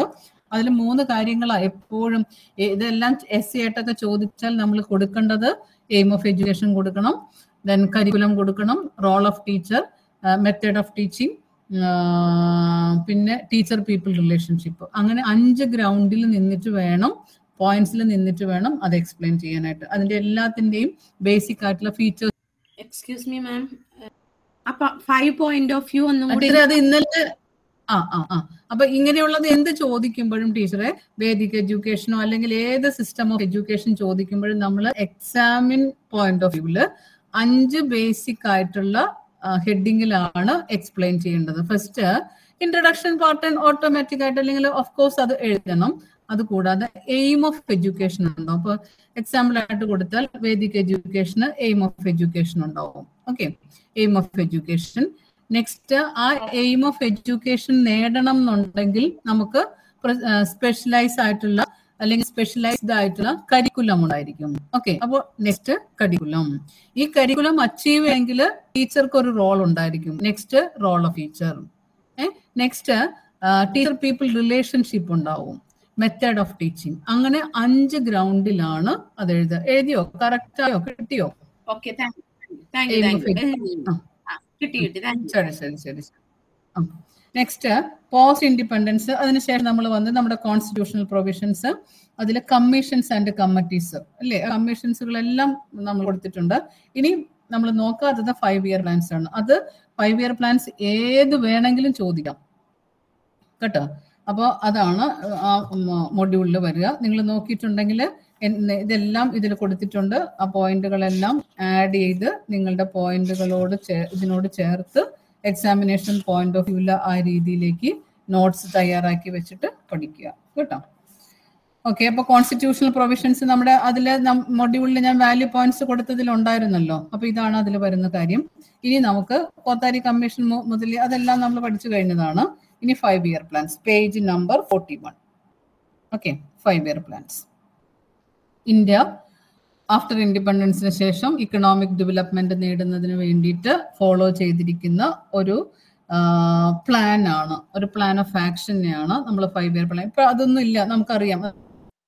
മാറിയിട്ട് വേറെ സ്കീം വന്ന കാര്യങ്ങളെല്ലാം അറിയാം. ഓക്കെ ഫൈവ് ഇയർ പ്ലാൻസ് നമുക്ക് ഫസ്റ്റ് ടെൻ വരെ നയൻ വരെ അങ്ങോട്ടാണ് പഠിക്കാനുള്ളത് കേട്ടോ. ഇതിൽ five year plan following are the main points of this reorganisation of scheme അപ്പൊ ചോദിക്കുന്നത് ഇങ്ങനെയായിരിക്കും. The role of education in the second five year plan okay അല്ലെങ്കിൽ തേർഡ് ഫസ്റ്റ് ഏത് വേണമെങ്കിലും ചോദിക്കാം. അപ്പോൾ ഇതുപോലെ പോയിന്റുകൾ കൊടുത്തിട്ടുണ്ട്. അത് അതേപോലെ തന്നെ നമുക്ക് റീപ്രൊഡ്യൂസ് ചെയ്യാം. First to convert primary education in basic education കേട്ടോ to convert primary education in basic education to expand social secondary vocational and technical ഇപ്പൊ ഇന്നലെയൊക്കെ നമ്മൾ ആ ഓരോന്നിലും അല്ലെങ്കിൽ കമ്മീഷൻസും കമ്മിറ്റികളൊക്കെ പഠിക്കുമ്പോഴെല്ലാം സ്ട്രെസ് ചെയ്ത് പോന്നിരിക്കുന്ന കാര്യങ്ങളാണ് ഇത് ഇന്നലത്തെ ക്ലാസിന്റെ കണ്ടിന്യൂഷനോ to convert primary education into basic പ്രാഥമിക വിദ്യാഭ്യാസത്തിന് അടിസ്ഥാന വിദ്യാഭ്യാസം എന്നാക്കി മാറ്റുക. അതിൽ വ്യത്യാസമുണ്ട് കേട്ടോ. വളരെ മീനിങ് ഫുൾ ആയിട്ടുള്ള കാര്യമാണത്. To expand social secondary vocational and technical അപ്പൊ തന്നെ നമ്മുടെ എയിം തന്നെ മാറി. അതനുസരിച്ച് മാറ്റം വരുത്തുക. Next to introduce necessary changes in secondary education എക്കോട് ഇപ്പോൾ യൂണിവേഴ്സിറ്റി എഡ്യൂക്കേഷന് വേണ്ടി മാത്രമായിട്ട് ഒരു കമ്മീഷൻ ഉണ്ടായിരുന്നു. ഓർക്കണ്ടാവും Radhakrishnan. Next secondary education secondary മേഖലയിലുള്ളതാണ്. അതുപോലെ അതാ പറയുന്നത് to introduce necessary changes in secondary education according to the needs of the rural population and accordingly to reorganise secondary and university education കണ്ടോ? റീഓർഗനൈസ് ചെയ്യുക. ഇതിന് സെക്കൻഡറി എഡ്യൂക്കേഷനെയും അതുപോലെ university എഡ്യൂക്കേഷനെയും അതായിരുന്നു first five year പ്ലാനിൽ നമ്മൾ സ്ട്രെസ് ചെയ്തിരിക്കുന്ന അടുത്ത കാര്യം എന്ന് പറയാം next to encourage women education especially in rural areas ഗ്രാമീണ മേഖലയിലുള്ള സ്ത്രീകളുടെ വിദ്യാഭ്യാസത്തിന് first five year plan importance കൊടുക്കുന്നു. Next to to coordination between various aspects related to education. എഡ്യൂക്കേഷനുമായിട്ട് ബന്ധപ്പെട്ട ഒരുപാട് കാര്യങ്ങൾക്ക് കോർഡിനേഷൻ നടത്തുക. അല്ലെങ്കിൽ ഒരുപാട് ഫണ്ട് അതിന് പ്രൊവൈഡ് ചെയ്യുക. ഇപ്പൊ വീക്കായിട്ട് നിൽക്കുന്ന ഇപ്പൊ സ്കൂൾസ് നമ്പർ ഓഫ് സ്കൂൾസുകൾ സ്റ്റാർട്ട് ചെയ്യുക. അതിന് ഫിനാൻഷ്യൽ എയ്ഡ് വേണം എന്നുണ്ടെങ്കിൽ കൊടുക്കുക. Okay to arrange for training of teachers in all levels ഇപ്പോൾ നമ്മൾ പ്രൈമറി തലത്തിൽ N C N T T C അല്ലേ teachers nursery training teacher nursery teacher training course അല്ലേ അങ്ങനെ പ്രൈമറി തലം തുടങ്ങി ഡി എൽ എഡ് ഇന്ന് ഇന്ന് നമ്മുടെ ടി ടി സി ഒക്കെ മാറി ഡി എൽ എഡ് ആയതിന്റെ ബി എഡ് അങ്ങനെ ആ ഹയർ അതായത് എഡ്യൂക്കേഷന്റെ ഓരോ സ്റ്റേജസിനെയും അപ്ഗ്രേഡ് ചെയ്ത് കൊണ്ടുവരിക. To arrange the training for teacher in all levels അതിനെല്ലാം ടീച്ചേഴ്സിന് ട്രെയിനിങ് കൊടുക്കുക. Next to improve the salaries and facilities for teachers ഇന്നലേക്ക് അത് പറഞ്ഞതാണ് ഓരോന്ന് കാര്യത്തിലും. To make educational system more useful and effective കണ്ടോ? എഡ്യൂക്കേഷന്റെ ലക്ഷ്യം എന്ന് പറയുന്നത് കോമ്പീറ്റന്റ് ആയിട്ടുള്ള ആളുകളെ ക്രിയേറ്റ് ചെയ്യുക എന്നുള്ളതാണ്. ഇത് കുറെ തിയററ്റിക്കൽ ആയിട്ടുള്ള നോളജ് മാത്രമല്ല കോമ്പീറ്റന്റ് ആയിട്ടുള്ള വ്യക്തികളെ ക്രിയേറ്റ് ചെയ്യുക. Next to give more aid to states which are educationally backward ചില സ്റ്റേറ്റുകൾ തന്നെ ബാക്ക്വേർഡ് ആണ്. അങ്ങനെയുള്ളവർക്ക് സഹായം കൊടുക്കുക. അതൊക്കെയാണ് ഫസ്റ്റ് ഫൈവ് ഇയർ പ്ലാനിൽ നമ്മൾ റീഓർഗനൈസ് ചെയ്തിരിക്കുന്ന പോയിന്റുകൾ അപ്പൊ അതുകൊണ്ട് തന്നെ basic education should be expand as primary education clear ആയോ? ഇതായിരുന്നു five year first five year പ്ലാനിൽ കൊടുത്തിരിക്കുന്ന കാര്യം. ഇനിയും കുറച്ചുകൂടെ കാര്യങ്ങൾ അതിൽ ചേർന്ന് വരാനുണ്ട്. Under the first five year plan schemes were formulated for the following പുതിയ പുതിയ പദ്ധതികൾ സ്റ്റാർട്ട് ചെയ്തു. അത് ഒരു എട്ട് എയ്റ്റ് പദ്ധതി സ്കീംസ് കൊടുത്തിട്ടുണ്ട്. ഫസ്റ്റ് അതിനെല്ലാം നമ്മളൊന്ന് വായിച്ചിട്ട് നമ്മുടേതായിട്ടുള്ള രീതി രീതിയിൽ റീപ്രൊഡ്യൂസ് ചെയ്താൽ മതി. To make higher education more realistic and relevant to life കണ്ടോ? ഇപ്പൊ യു ജി സിനെ യു ജി സി എസ്റ്റാബ്ലിഷ് ചെയ്യും. സൊസൈറ്റിയിലേക്ക് വേണ്ട ആളുകൾക്ക് എന്തൊക്കെ തരത്തിലുള്ള അറിവുകളാണോ വേണ്ടത്? ആ രീതിയിൽ ഹയർ എഡ്യൂക്കേഷൻ ഇപ്പൊ നമ്മൾ വെസ്റ്റേൺ എഡ്യൂക്കേഷനും വെസ്റ്റേൺ കൾച്ചറും വെസ്റ്റേൺ ട്രഡീഷൻസും ഒന്നും പഠിച്ചിട്ട് കാര്യമില്ല. ഇന്ത്യൻ കോണ്ടെക്സ്റ്റിൽ ജീവിക്കുന്ന കുട്ടികൾ ഇന്ത്യയെക്കുറിച്ചും അതിന്റെ കൾച്ചർ കാര്യങ്ങളെക്കുറിച്ചും എല്ലാമാണ് മെയിൻ ആയിട്ട് പഠിക്കേണ്ടത്. പഠിക്കാം നമുക്ക് പക്ഷെ മെയിൻ കോർ ആയിട്ട് നിൽക്കേണ്ടത് ഡൊമസ്റ്റിക് ആയിട്ടുള്ള രാജ്യ പ്രത്യേകതകളായിരിക്കണം. Okay to make higher education more realistic and relevant next to spread literacy okay അപ്പൊ നമ്മൾ ആ ടേം തന്നെ മാറ്റി. റിയൽ ആൻഡ് റൈറ്റ് എന്നുള്ളത് മാറ്റി അതിന്റെ കൂടെ എന്തുകൂടെ ചേർത്തു ടെക്നോളജിക്കൽ അവയർനെസ് അല്ലേ അപ്പൊ വായിക്കാനും എഴുതാനും വായിക്കാനും അറിയുന്നത് മാത്രമല്ല ലിറ്ററസി എന്ന് പറയുന്നത്. കൂടെ എന്തുകൂടി ഉണ്ട് technological awareness next to strengthen coordination between the various aspect of education പല ആസ്പെക്റ്റുകളുണ്ട് ഈ പറഞ്ഞ പ്രൈമറി സെക്കൻഡറി അങ്ങനെയുള്ള പല പല ഘടകങ്ങളുണ്ട്. അതുപോലെ എഡ്യൂക്കേഷന്റെ പല പല ഡൈമെൻഷൻസ് ഉണ്ട്. ഇപ്പൊ ക്ലാസ് റൂം ഇതാണെങ്കിൽ സ്കോളാസ്റ്റിക് ആണെങ്കിൽ കോ കരിക്കുലർ ആണെങ്കിൽ then indoor and outdoor activities ആണെങ്കിൽ ഇപ്പൊ ഈ ട്രഡീഷണൽ ആയിട്ടുള്ള ലെക്ചർ മെത്തേഡിന് പകരം മോഡേൺ മെത്തേഡുകൾ യൂസ് ചെയ്യുന്നത് കൺസ്ട്രക്റ്റിവിസം ഫോളോ ചെയ്യുന്നത് അങ്ങനെ ഓൾ ആസ്പെക്ട്സ് ഓഫ് എഡ്യൂക്കേഷൻ അതിനെ എന്ത് ചെയ്യുക? ടു സ്ട്രെങ്തൺ അതിനെ ഡെവലപ്പ് ചെയ്യുക അല്ലെങ്കിൽ അതിനെ സപ്പോർട്ട് ചെയ്യുക. Next provide educational facilities in rural and urban areas rural ആയിട്ടുള്ള ഏരിയകളിലും അതുപോലെ അർബൺ ആയിട്ടുള്ള ഏരിയകളിലും ആ ഒരു ഡിസ്പാരിറ്റി ഇല്ലാതെ ഡെവലപ്പ് ചെയ്ത് കൊണ്ടുവരിക next to develop vocational and technical education ഉണ്ടോ ഒരു തൊഴിൽ സംബന്ധമായ അല്ലെങ്കിൽ ശാസ്ത്ര സാങ്കേതിക വിദ്യയുടെ അത് അതിന് ഡെവലപ്പ് ചെയ്യാം. Next to reform the examination system അതെല്ലാം നമ്മൾ ഓർമ്മണ്ടാവും രാധാകൃഷ്ണൻ കമ്മീഷനിലെല്ലാം പറയുന്ന കാര്യങ്ങളാണത്. എക്സാമിനേഷൻ സിസ്റ്റം റിജിഡ് ആണ് ഔട്ട്ഡേറ്റഡ് ആണ് അല്ലേ? അതുകൊണ്ട് തന്നെ നമ്മൾ എന്ത് ചെയ്യണം? അതിൽ മാറ്റങ്ങൾ വരുത്തണം. Next to check wastage in university education വേസ്റ്റേജും സ്റ്റാഗ്നേഷനും നമ്മൾ പറഞ്ഞിരുന്നു. ഓർക്കണ്ട? സ്റ്റാഗ്നന്റ് ആയിട്ടിരിക്കുക എന്ന് പറഞ്ഞാൽ എന്താ? തോറ്റിരിക്കുക. കൊച്ചു എട്ടാം ക്ലാസ്സിൽ തോറ്റു തോറ്റു പോയി.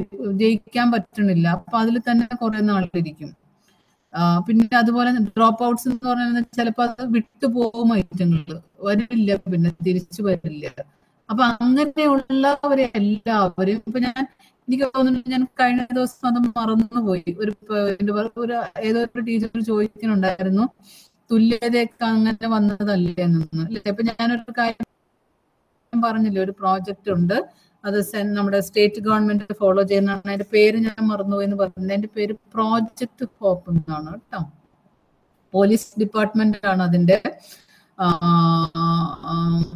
മെയിൻ ആയിട്ട് എന്താ പറയാ അതിന്റെ സെൻട്രൽ അതോറിറ്റി ആയിട്ട് നിൽക്കുന്നത്. അപ്പൊ ഞങ്ങളുടെ കോളേജ് അതിന്റെ ആണ്. അപ്പൊ ഞാൻ പേര് വിട്ടുപോയത് കൊണ്ടാണ് പ്രോജക്ട് ഹോപ്പ് അപ്പൊ ടെൻത്ത് പ്ലസ് ടു ഒക്കെ കഴിഞ്ഞ പിള്ളേരെ അവർ തന്നെ തപ്പിക്കൊണ്ട് നമ്മൾ കോളേജിലേക്ക് ആക്കി തരും. മനസ്സിലായി? അപ്പൊ നമ്മൾ അവരെ പഠിപ്പിച്ച് പരീക്ഷ എഴുതിക്കാറുണ്ട് ഉദ്ദേശിക്കുക അപ്പൊ next establish great coordination between the various states of education coordination ഉണ്ടാക്കുക. അപ്പൊ ഇത്രയാണ് ഫസ്റ്റ് ഫൈവ് ഇയർ പ്ലാൻ പറയാം കേട്ടോ. അതുപോലെ തന്നെ ഇനി ഇതിൽ എളുപ്പം പറഞ്ഞിട്ടുണ്ടെങ്കിൽ ഒരു ഒരു ഫൈവ് ഇയർ പ്ലാൻ പഠിച്ചാൽ നമുക്ക് ഏകദേശം ഒട്ടുമിക്കതിലും പിടിച്ചു നിൽക്കാം. സെക്കൻഡ് ഇയർ അല്ല second five year plan third ഒക്കെ ഏകദേശം സിമിലർ ആണ്. കാര്യം എല്ലാം പ്ലാൻ ചെയ്യുന്നുണ്ടെങ്കിലും ഒരു പരിധി വരെ വരെയൊക്കെ നമുക്ക് വിജയിപ്പിച്ചെടുക്കാനൊക്കെ ആദ്യം പറ്റുള്ളൂ ഇന്നത്തെ കാലം എസ് എസ് എ ഫംഗ്ഷൻ ചെയ്യുന്ന പോലെ അത്ര ഫണ്ടും കാര്യങ്ങളൊന്നും ഉണ്ടായിരുന്നില്ല. അതുകൊണ്ട് തന്നെ ഓരോ പ്ലാനും റിപ്പീറ്റ് ചെയ്ത് റിപ്പീറ്റ് ചെയ്ത് പോയിക്കൊണ്ടിരുന്നത് ഓക്കെ അപ്പോൾ next second five year plan അതിൽ ഇതുപോലെ തന്നെയാണ്. Basic education should be expand as far. Basic എഡ്യൂക്കേഷന് അടിസ്ഥാന വിദ്യ എന്താ പറയാ? ഉദ്ദേശിക്കുന്നത് ഡ്രോപ്പ് ഔട്ട്സ് എന്താ? ആ ആ, ആ. സ്റ്റാഗനന്റ് സ്റ്റാഗ്നന്റ് എന്ന് പറഞ്ഞാലാണ് തോറ്റു ഇരിക്കുന്ന കുട്ടികൾ അതായത് ഒരു സ്റ്റാൻഡേർഡിൽ തന്നെ കുറെ നാൾ മെയിൻ ചെയ്തു പോവുക. ഈ വേസ്റ്റേജ് എന്ന് പറയുന്നതാണ് ഈ ഡ്രോപ്പ് ഔട്ട്സ് അവരിങ്ങനെ മിസ്സായി പോയി.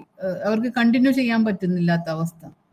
Okay wastage and stagnation okay next basic education should be expand as far as possible develop ചെയ്യുക next secondary education should be reorganised and should be converted into multi purpose schools ഇത് ചോദിക്കുന്നതാണ് multi purpose schools secondary education എന്ത് ചെയ്യുക? Should be reorganised മാറ്റണം. And should be converted into multi purpose multi purpose എന്ന് പറഞ്ഞാൽ ഇപ്പൊ സ്കൂളുകൾക്ക് ഒരു ലക്ഷ്യം മാത്രമല്ല വേണ്ടത്. ഏതെങ്കിലും വൊക്കേഷണൽ അതുകൊണ്ട് അംബോളജിക്കൽ എഡ്യൂക്കേഷൻ കൊടുക്കുന്ന വൊക്കേഷണൽ ട്രെയിനിങ് കൊടുക്കുന്ന അതുപോലെ തന്നെ സ്കൂൾ വിദ്യാഭ്യാസവും പ്രൊവൈഡ് ചെയ്യുന്ന മൾട്ടി പർപ്പസ് ആയിട്ടുള്ള സ്കൂളുകൾ ഇൻട്രൊഡ്യൂസ് ചെയ്യുക. മൾട്ടി പർപ്പസ് സ്കൂൾസ് ചോദിക്കാം കേട്ടോ.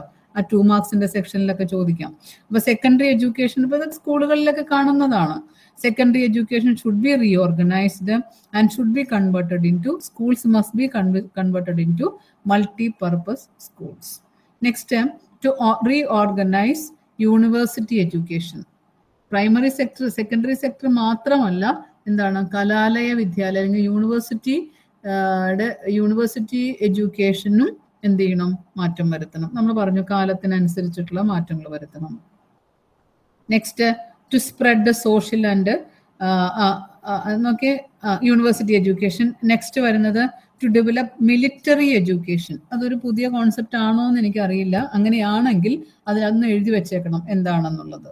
It's a process which intended to establish and improve the capabilities of military personnel in their respective role അത് ചോദിച്ചു കണ്ടിട്ടില്ല പക്ഷെ നമുക്കതൊരു പുതിയ അറിവാണ്. എന്താണ് മിലിറ്ററി എഡ്യൂക്കേഷൻ കൊണ്ട് ഉദ്ദേശിക്കുന്നത്? അപ്പൊ മിലിറ്ററിയിൽ പല പല റോളുകളുള്ള വ്യക്തികളുണ്ട് അല്ലേ? അപ്പോൾ അവരുടെ ഓരോ റോളുകളും അല്ലെങ്കിൽ ഓരോ ഗ്രേഡുകളും ഭംഗിയായിട്ട് പ്രവർത്തിക്കാൻ അല്ലെങ്കിൽ ഏറ്റവും ഭംഗിയായിട്ട് അവർക്ക് ആ റോൾ പെർഫോം ചെയ്യാൻ അവരെ കേപ്പബിൾ ആക്കുക. കേപ്പബിൾ ആവണമെങ്കിൽ എന്ത് വേണം? അതിൽ എഡ്യൂക്കേഷൻ വേണം സ്കില്ല് കൊടു ഉണ്ടാവണം ട്രെയിനിങ് കൊടുത്തിട്ടുണ്ടാവണം. അങ്ങനെയുള്ള സ്കൂൾസുകൾ കണ്ടോ? മിലിറ്ററി എഡ്യൂക്കേഷൻ അല്ലെങ്കിൽ അങ്ങനെയുള്ള വിദ്യാഭ്യാസങ്ങൾ it's a process which intend to establish and improve the capabilities of military personnel in the respective role ഓരോരുത്തർക്കും ഓരോ റോളാണ് റാങ്ക് അനുസരിച്ചൊക്കെ വ്യത്യാസമുണ്ട്. അപ്പോൾ അവർക്ക് അതിന്റെ റോളുകളെ കുറിച്ച് അവയർഡ് ആയിരിക്കണം. അപ്പോൾ ബി എഡ് പഠിക്കുന്നു. ബി എഡ് പഠിക്കാതെയും അല്ലെങ്കിൽ ആ കോഴ്സിന്റെ ട്രെയിനിങ് ഇല്ലാതെയും ടീച്ചേഴ്സ് ആകാം. ഇപ്പൊ കോളേജസിലൊക്കെ എല്ലാവർക്കും ബി എഡ് ഉണ്ടാ ഉണ്ടോ? ഇല്ല. പക്ഷെ അവർ ടീച്ചേഴ്സ് അല്ലേ? അല്ലേ? പക്ഷേ ബി എഡ് പഠിച്ചിട്ട് ക്ലാസ് എടുക്കുന്ന ഒരു ടീച്ചറും പഠിക്കാതെ ക്ലാസ് എടുക്കുന്ന ടീച്ചറും തമ്മിൽ ചിലപ്പോൾ ഒരു ഒരു പരിധി വരെയുള്ള അല്ലെങ്കിൽ ഒരു സ്റ്റാൻഡേർഡ് വരെയുള്ള കുട്ടികളിൽ വ്യത്യാസം ഉണ്ടാവും. കുഞ്ഞ ക്ലാസ്സിലൊക്കെ ആണെങ്കിൽ ഇപ്പോൾ ഹൈസ്കൂൾ സെക്കൻഡറി അങ്ങനെയുള്ള ഹയർ സെക്കൻഡറി അങ്ങനെയുള്ള സെക്ഷനിലൊക്കെ ഇങ്ങനെയുള്ള ഒരു ട്രെയിനിങ്ങോട് കൂടി വേണം അധ്യാപകരാവാൻ. കാരണം എന്താണെന്ന് വെച്ചാൽ അവരുടെ കേപ്പബിലിറ്റീസ് ഡെവലപ്പ് ചെയ്യാൻ വേണ്ടിയിട്ട് അവയർഡ് ആവാൻ വേണ്ടിയിട്ടാണ്. ഓക്കെ ഇനി നെക്സ്റ്റ് അതാണ് മിലിറ്ററി എഡ്യൂക്കേഷൻ കൊണ്ട് ഉദ്ദേശിക്കുക. Next to spread social and cultural education ഇത്രയേ ഉള്ളൂ. സോഷ്യൽ ആൻഡ് കൾച്ചറൽ നമ്മുടെ സാംസ്കാരിക സാമൂഹ്യ സാംസ്കാരികപരമായിട്ടുള്ള കാര്യം. Next to organise and develop vocational and technical education നമ്മൾ നേരത്തെ പറഞ്ഞ മൾട്ടി മൾട്ടിപർപ്പസിന്റെ കാര്യം പറഞ്ഞ പോലെ തന്നെ ടെക്നിക്കൽ ആയിട്ടുള്ള അല്ലെങ്കിൽ വൊക്കേഷണൽ ആയിട്ടുള്ള ട്രെയിനിങ്ങുകൾ സ്കൂളുകളിൽ കുട്ടികൾക്ക് കൊടുത്തിട്ടുണ്ടാവണം ഓക്കെ അപ്പൊ ഇത്രയാണ് സെക്കൻഡ് ഫൈവ് ഇയർ പ്ലാനിൽ മെയിൻ ആയിട്ട് വരുന്ന കാര്യം. Okay next third five year plan third five year plan ഇത് നിങ്ങൾക്ക് പഠിക്കാൻ എളുപ്പമായിരിക്കും. കാര്യം നമ്മൾ പഠിച്ചിരിക്കുന്ന പല കമ്മീഷൻസിന്റെയും പോയിന്റുകൾ ഇതിലുണ്ട്. ഇന്നലെ നമ്മൾ പറഞ്ഞിരിക്കുന്ന ഒട്ടുമിക്ക പോയിന്റുകളെല്ലാം ഇതിൽ വന്നിട്ടുള്ള കാര്യങ്ങളാണ്. അപ്പൊ അതുകൊണ്ട് ഒന്നും ഒന്നും നമുക്ക് അഡീഷണൽ ആയിട്ടൊന്നും പറയേണ്ട കാര്യമൊന്നുമില്ല. അതിൽ ഫണ്ടുകൾ മാറ്റി വെക്കുന്നു. ഏത്? ബഡ്ജറ്റ് വെക്കുമ്പോൾ ഫണ്ടുകൾ അലോട്ട് ചെയ്യുന്നു. കുറച്ച് ഫണ്ടായിരുന്നതിനെല്ലാം കൂട്ടി കൂട്ടി സെപ്പറേറ്റ് ചെയ്ത് പ്രൈമറി സെക്കൻഡറി അങ്ങനെ ബേസിക് ആയിട്ടുള്ള കാര്യങ്ങൾക്കൊക്കെ ആ രീതിയിൽ അലോട്ട് ചെയ്യുന്നു. ഇപ്പൊ ഇതിൽ അതാ ഞാൻ പറഞ്ഞത് ഒന്ന് രണ്ട് ഇയറുകൾ പഠിച്ചിട്ട് അല്ലെങ്കിൽ പ്ലാനുകൾ പഠിച്ചിട്ടുണ്ടെങ്കിൽ നമുക്ക് എല്ലാത്തിലും അത്യാവശ്യം എഴുതാം. പ്രൈമറി എഡ്യൂക്കേഷൻ എല്ലാത്തിലും ആവശ്യമുള്ളതാണ്. സെക്കൻഡറി എഡ്യൂക്കേഷൻ അതുപോലെ തന്നെ. University education. ഏഹ് പിന്നെ ചില ചില പ്രത്യേകതകളുണ്ടാവും ഇപ്പൊ മൾട്ടി പർപ്പസ് അല്ലെങ്കിൽ മിലിറ്ററി അങ്ങനെയുള്ള സ്പെസിഫൈഡ് ആയിട്ടുള്ള കാര്യങ്ങളൊന്ന് പഠിച്ചാൽ മതി. ഓക്കെ അപ്പൊ ഇതിൽ അതുപോലെ തന്നെ ഇതിൽ പറയുന്നതാണ് first primary education primary education ഇതുപോലെ തന്നെ തേർഡ് ഫൈവ് ഇയർ പ്ലാനിൽ large number of teachers were to be trained and many basic schools were to be opened both in urban and rural areas കണ്ടോ? അങ്ങനെയുള്ള ഏരിയകളിൽ നമ്പർ ഓഫ് സ്കൂൾസുകൾ അതായത് availability ഇല്ലാത്തത് കൊണ്ടാണ് വിദ്യാഭ്യാസം മുടങ്ങിയത് എന്ന് പറയാൻ ഇടവരും ഇന്നലെ ഞാനൊരു ടേം പറഞ്ഞിരുന്നു. U U E E universalisation of elementary education അതിൽ നമ്മൾ പറഞ്ഞ ഒരു പോയിന്റ് ആണ് എന്ത്? യൂണിവേഴ്സൽ അക്സെപ്റ്റൻസ് എല്ലാ കുട്ടികൾക്കും അക്സെപ്റ്റ് അല്ലെങ്കിൽ അക്സസിബിലിറ്റി ഉണ്ടാവണം. എന്താ പറയുക സ്കൂൾ ഫെസിലിറ്റികൾ എഡ്യൂക്കേഷൻ ഫെസിലിറ്റികൾ കിട്ടാൻ പറ്റണം. അതുപോലെ തന്നെ യൂണിവേഴ്സൽ എൻറോൾമെന്റ് കുട്ടീനെ ഏതെങ്കിലും സ്കൂളുകളിൽ ഇത്ര വരെയുള്ള ഏജ് ഉള്ള കുട്ടീനെ ഏതെങ്കിലും ഒരു സ്കൂളിൽ എൻറോൾ ചെയ്തിട്ടുണ്ടാവണം. നെക്സ്റ്റ് യൂണിവേഴ്സൽ റീടെൻഷൻ എന്ന് പറഞ്ഞാൽ എന്താ? അത് അതിൽ വന്നുണ്ട്. അല്ലെങ്കിൽ കൊച്ച് അവിടെ എല്ലാ ദിവസവും ഹാജരാണ് എന്നുള്ളത് ഉറപ്പുവരുത്തുകയും വേണം. അതൊക്കെ ഇങ്ങനെയുള്ള ഓരോരോ സ്കീമുകളാണ് യു ഇ ഇ എന്നാണത് പറയാം. Next schemes were formulated for meeting those targets നമ്മൾ പുതിയ പുതിയ പദ്ധതികൾ നേരത്തെ പറഞ്ഞ പോലത്തെ പുതിയ പുതിയ പദ്ധതികൾ ഡെവലപ്പ് ചെയ്യുക. ടെക്നിക്കൽ എഡ്യൂക്കേഷന് വേണ്ടിയിട്ട് അല്ലെങ്കിൽ ഈ പറഞ്ഞ പോലെ പുതിയ പുതിയ ഇന്നവേറ്റീവ് ആയിട്ടുള്ള ടെക് മെത്തേഡ് ക്ലാസ്സുകൾ റൂമുകളിൽ ഇംപ്ലിമെന്റ് ചെയ്യുക. ഓക്കെ ട്രഡീഷണൽ വേയിൽ നിന്ന് മാറിയിട്ട് അങ്ങനെയൊക്കെയാണ് നമ്മുടെ ഡി പി പിയും അങ്ങനെയുള്ള കാര്യങ്ങളെല്ലാം വന്നത്. അത് കഴിഞ്ഞ് പിന്നെ അത് കാലം മാറിയതനുസരിച്ച് മാറി. ഓക്കെ അപ്പൊ primary education next secondary education secondary എഡ്യൂക്കേഷനിൽ ദാ മൾട്ടി പർപ്പസ് സ്കൂളുകൾ മൾട്ടി പർപ്പസ് സ്കൂൾ വീണ്ടും വന്നിട്ടുണ്ട്. മൾട്ടിപർപ്പസ് സ്കൂളിനെ എങ്ങനെയാ നമ്മൾ പറഞ്ഞിരുന്നത്? പല പല കാര്യങ്ങൾ study in various subject and cater to different taste different taste and study achieving different types of objectives of students അത് സ്റ്റാർട്ട് ചെയ്തത് ഒക്ടോബർ നയന്റീൻ ഫിഫ്റ്റി ഫോറിലാണ് ഇൻട്രൊഡ്യൂസ് ചെയ്തത് ഗവൺമെന്റ് ഓഫ് ഇന്ത്യയാണ് സ്റ്റാർട്ട് ചെയ്തിരിക്കുന്നത്. Okay government of India started multipurpose schools in October nineteen fifty four അത് ഇതാണ് ഉദ്ദേശിക്കുക. Various subjects rather than main stream അല്ലെങ്കിൽ core സബ്ജക്റ്റുകളോട് ചേർന്ന് പല പല കാര്യങ്ങൾ ഇതാക്കുക. അപ്പോൾ ഒരു ക്ലാസ് കഴിഞ്ഞ് പോകുന്ന കുട്ടിക്ക് അല്ലെങ്കിൽ സ്കൂളിംഗ് കഴിഞ്ഞ് പോകുന്ന കുട്ടി പല തരത്തിലും കോമ്പിറ്റന്റ് ആയിട്ട് മാറും. ഒരു വൊക്കേഷൻ ബേസ്ഡ് ആയിരിക്കും. ടെക്നോളജി ഉണ്ടാവും. ഇപ്പൊ നമ്മൾ നോക്കിയിട്ടുണ്ടെങ്കിൽ റൂറൽ ഏരിയയിൽ കുട്ടികളുടെ ഡെവലപ്മെന്റിന് വേണ്ടിയിട്ട് ഒരുപാട് കാര്യങ്ങൾ ചെയ്യുന്നുണ്ട് അല്ലെ? വീക്കർ സെക്ഷന് വേണ്ടിയിട്ട് ഒരുപാട് ഫണ്ട് പ്രൊവൈഡ് അങ്ങനെ ഓരോ നോക്കിയാൽ ഇംപ്ലിമെന്റ് ചെയ്യുന്ന കാര്യങ്ങളാണ് അതെല്ലാം. ഓക്കെ അപ്പൊ secondary education next university education university higher എഡ്യൂക്കേഷന്റെ ഭാഗമാണ്. നമ്മൾ ഒരുപാട് ഫണ്ട് അതിന് വേണ്ടി മാറ്റി വയ്ക്കുന്നു പാറ്റേണിനെ എങ്ങനെയാക്കി? Ten plus two plus three അല്ലേ clear കട്ടായിട്ട് schooling ten years next two years of pre degree അല്ലെങ്കിൽ സ്കൂളിനോട് ചേർന്നിട്ട് ഇപ്പൊ പ്ലസ് ടു എന്ന് പറയുന്നത് ഇപ്പോഴത്തെ കോൺസെപ്റ്റ് അല്ലേ? Next three years of degree അങ്ങനെ ten plus two plus three pattern follow ചെയ്യാം. നെക്സ്റ്റ് സോഷ്യൽ എഡ്യൂക്കേഷൻ അതിൽ കമ്മ്യൂണിറ്റി ആൻഡ് ലിറ്ററസി സെന്റേഴ്സ് ഇപ്പോൾ Janata colleges new libraries and reading rooms were to be started for social education ഉണ്ടോ? Social ആയിട്ടുള്ള ഇപ്പോൾ common ലൈബ്രറികൾ reference ബുക്കുകളോ അല്ലെങ്കിൽ reading മെറ്റീരിയൽസോ informative ആയിട്ടുള്ള ബുക്സുകളോ ഒക്കെ പ്രൊവൈഡ് ചെയ്യുന്ന സോഷ്യൽ എഡ്യൂക്കേഷൻ ഡെവലപ്പ് ചെയ്തു പോവുക. അതുപോലെ moral education morality based education ആയിരിക്കണം. ഓക്കെ അതിൽ government of India become alive to the necessity of some kind of moral education for you അതും നമ്മൾ കഴിഞ്ഞ തവണ പഠിച്ചതാണ്. കഴിഞ്ഞ ഇന്നലത്തെ ക്ലാസ്സുകളിൽ പഠിച്ചതാണ്. മോറൽ ബേസ്ഡ് ആയിട്ടുള്ള മോറൽ ബേസ്ഡ് ആയിട്ടുള്ള സ്റ്റോറികൾ കുട്ടികൾക്ക് ക്ലാസ് റൂമുകളിൽ ഡിസ്കസ് ചെയ്യും. അതിന്റെ മൊറാലിറ്റി ഫണ്ട് അതിന് വേണ്ടി മാറ്റിവെക്കുക മോസ്റ്റ് പ്രധാനമായിട്ടും ഉദ്ദേശിക്കുന്ന കാര്യം എന്ന് പറഞ്ഞാൽ ലേണിംഗ് എയ്ഡുകളെല്ലാം അഡ്വാൻസ്ഡ് ആയിട്ടുള്ള ടെക്നോളജിയുടെ ഇമ്പാക്റ്റോട് കൂടി ക്ലാസ് റൂമുകൾ മുന്നോട്ട് പോരട്ടെ എന്ന് പറയാം അപ്പൊ മൂന്ന് ഫൈവ് ഇയർ പ്ലാനുകളാണ്. ഇതിൽ ഏത് വേണമെങ്കിലൊക്കെ ചോദിക്കാം കേട്ടോ. ഏതാണ് പ്രധാനം എന്ന് പറഞ്ഞാൽ ചിലപ്പോൾ കുറച്ചുകൂടെ അങ്ങോട്ട് മുന്നോട്ട് വരുമ്പോഴായിരിക്കാം. പക്ഷെ കോമൺ ആയിട്ട് ചെയ്യുന്ന കുറെ പോയിന്റ്സ് ഉണ്ട്. ഫിനാൻഷ്യൽ അറേഞ്ച്മെന്റ് നമ്മൾ കൊടുത്തിരിക്കുന്ന ബഡ്ജറ്റിൽ വെച്ചിരിക്കുന്ന ഫണ്ടുകൾ പ്രോപ്പറായിട്ട് അറേഞ്ച് ചെയ്ത് കൊടുത്തിട്ടുണ്ട്. Fourth five year plan the government provided ആയിരത്തി ഇരുന്നൂറ്റി അറുപത് ക്രോർ ഇത്രയാണ് and half times more than what it was for the second plan second പ്ലാനിലൊക്കെ നമ്മൾ കൊടുത്തിരുന്ന ഫണ്ടിൽ നിന്നൊക്കെ രണ്ടോ മൂന്നോ മടങ്ങ് കൂടുതലായിട്ടാണ് ഫണ്ട് മാറ്റി വെച്ചിരിക്കുന്നത്. കാരണം ഫണ്ടിന്റെ അഭാവം കൊണ്ട് പല കാര്യങ്ങളും മിസ്സാകാതിരിക്കുക in this plan greater attention was paid to qualitative development and less to quantitative development കുറെ നമ്പറുകൾ കൂടി അല്ലെങ്കിൽ നമ്പറുകൾ കൂട്ടി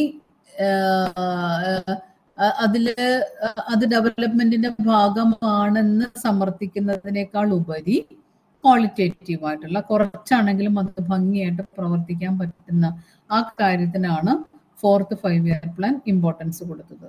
Various schemes of education were first primary education എല്ലാത്തിലെയും പോലെ തന്നെ അടിസ്ഥാന വിദ്യാഭ്യാസം എന്നുള്ളത്. അത് അങ്ങനെയൊക്കെയാണ് ആ ഫ്രീ ആൻഡ് കമ്പൽസറി അത് കോൺസ്റ്റിറ്റ്യൂഷന്റെ ഭാഗമാകുന്നതും അത് ഫണ്ടമെന്റൽ റൈറ്റ് ആകുന്നതും അത് ഏതെങ്കിലും തരത്തിൽ ഡിനെ വന്നു കഴിഞ്ഞാൽ നമുക്കത് കോർട്ടിൽ ആർഗ്യൂ ചെയ്ത് ഉറപ്പുവരുത്താനും പറ്റുന്ന രീതിയിലൊക്കെ ആക്കിയത് ഇങ്ങനെയാണ്. കാര്യം എല്ലാവരും അതിന് വേണ്ടിയിട്ടാണ് ഇമ്പോർട്ടൻസ് കൊടുത്തിരിക്കുന്നത്. പ്രൈമറി എഡ്യൂക്കേഷൻ അതുപോലെ തന്നെ of course secondary on the basis of the previous plan it was estimated that about five lakh students should take admission to the second ചിലപ്പോൾ ഇവിടെയൊക്കെയാണ് ആ വേസ്റ്റേജ് സ്റ്റാഗ്നേഷൻ അങ്ങനെയുള്ള കാര്യങ്ങൾ ഡ്രോപ്പ് ഔട്ട്സ് കാര്യങ്ങളെല്ലാം വരുന്നത്.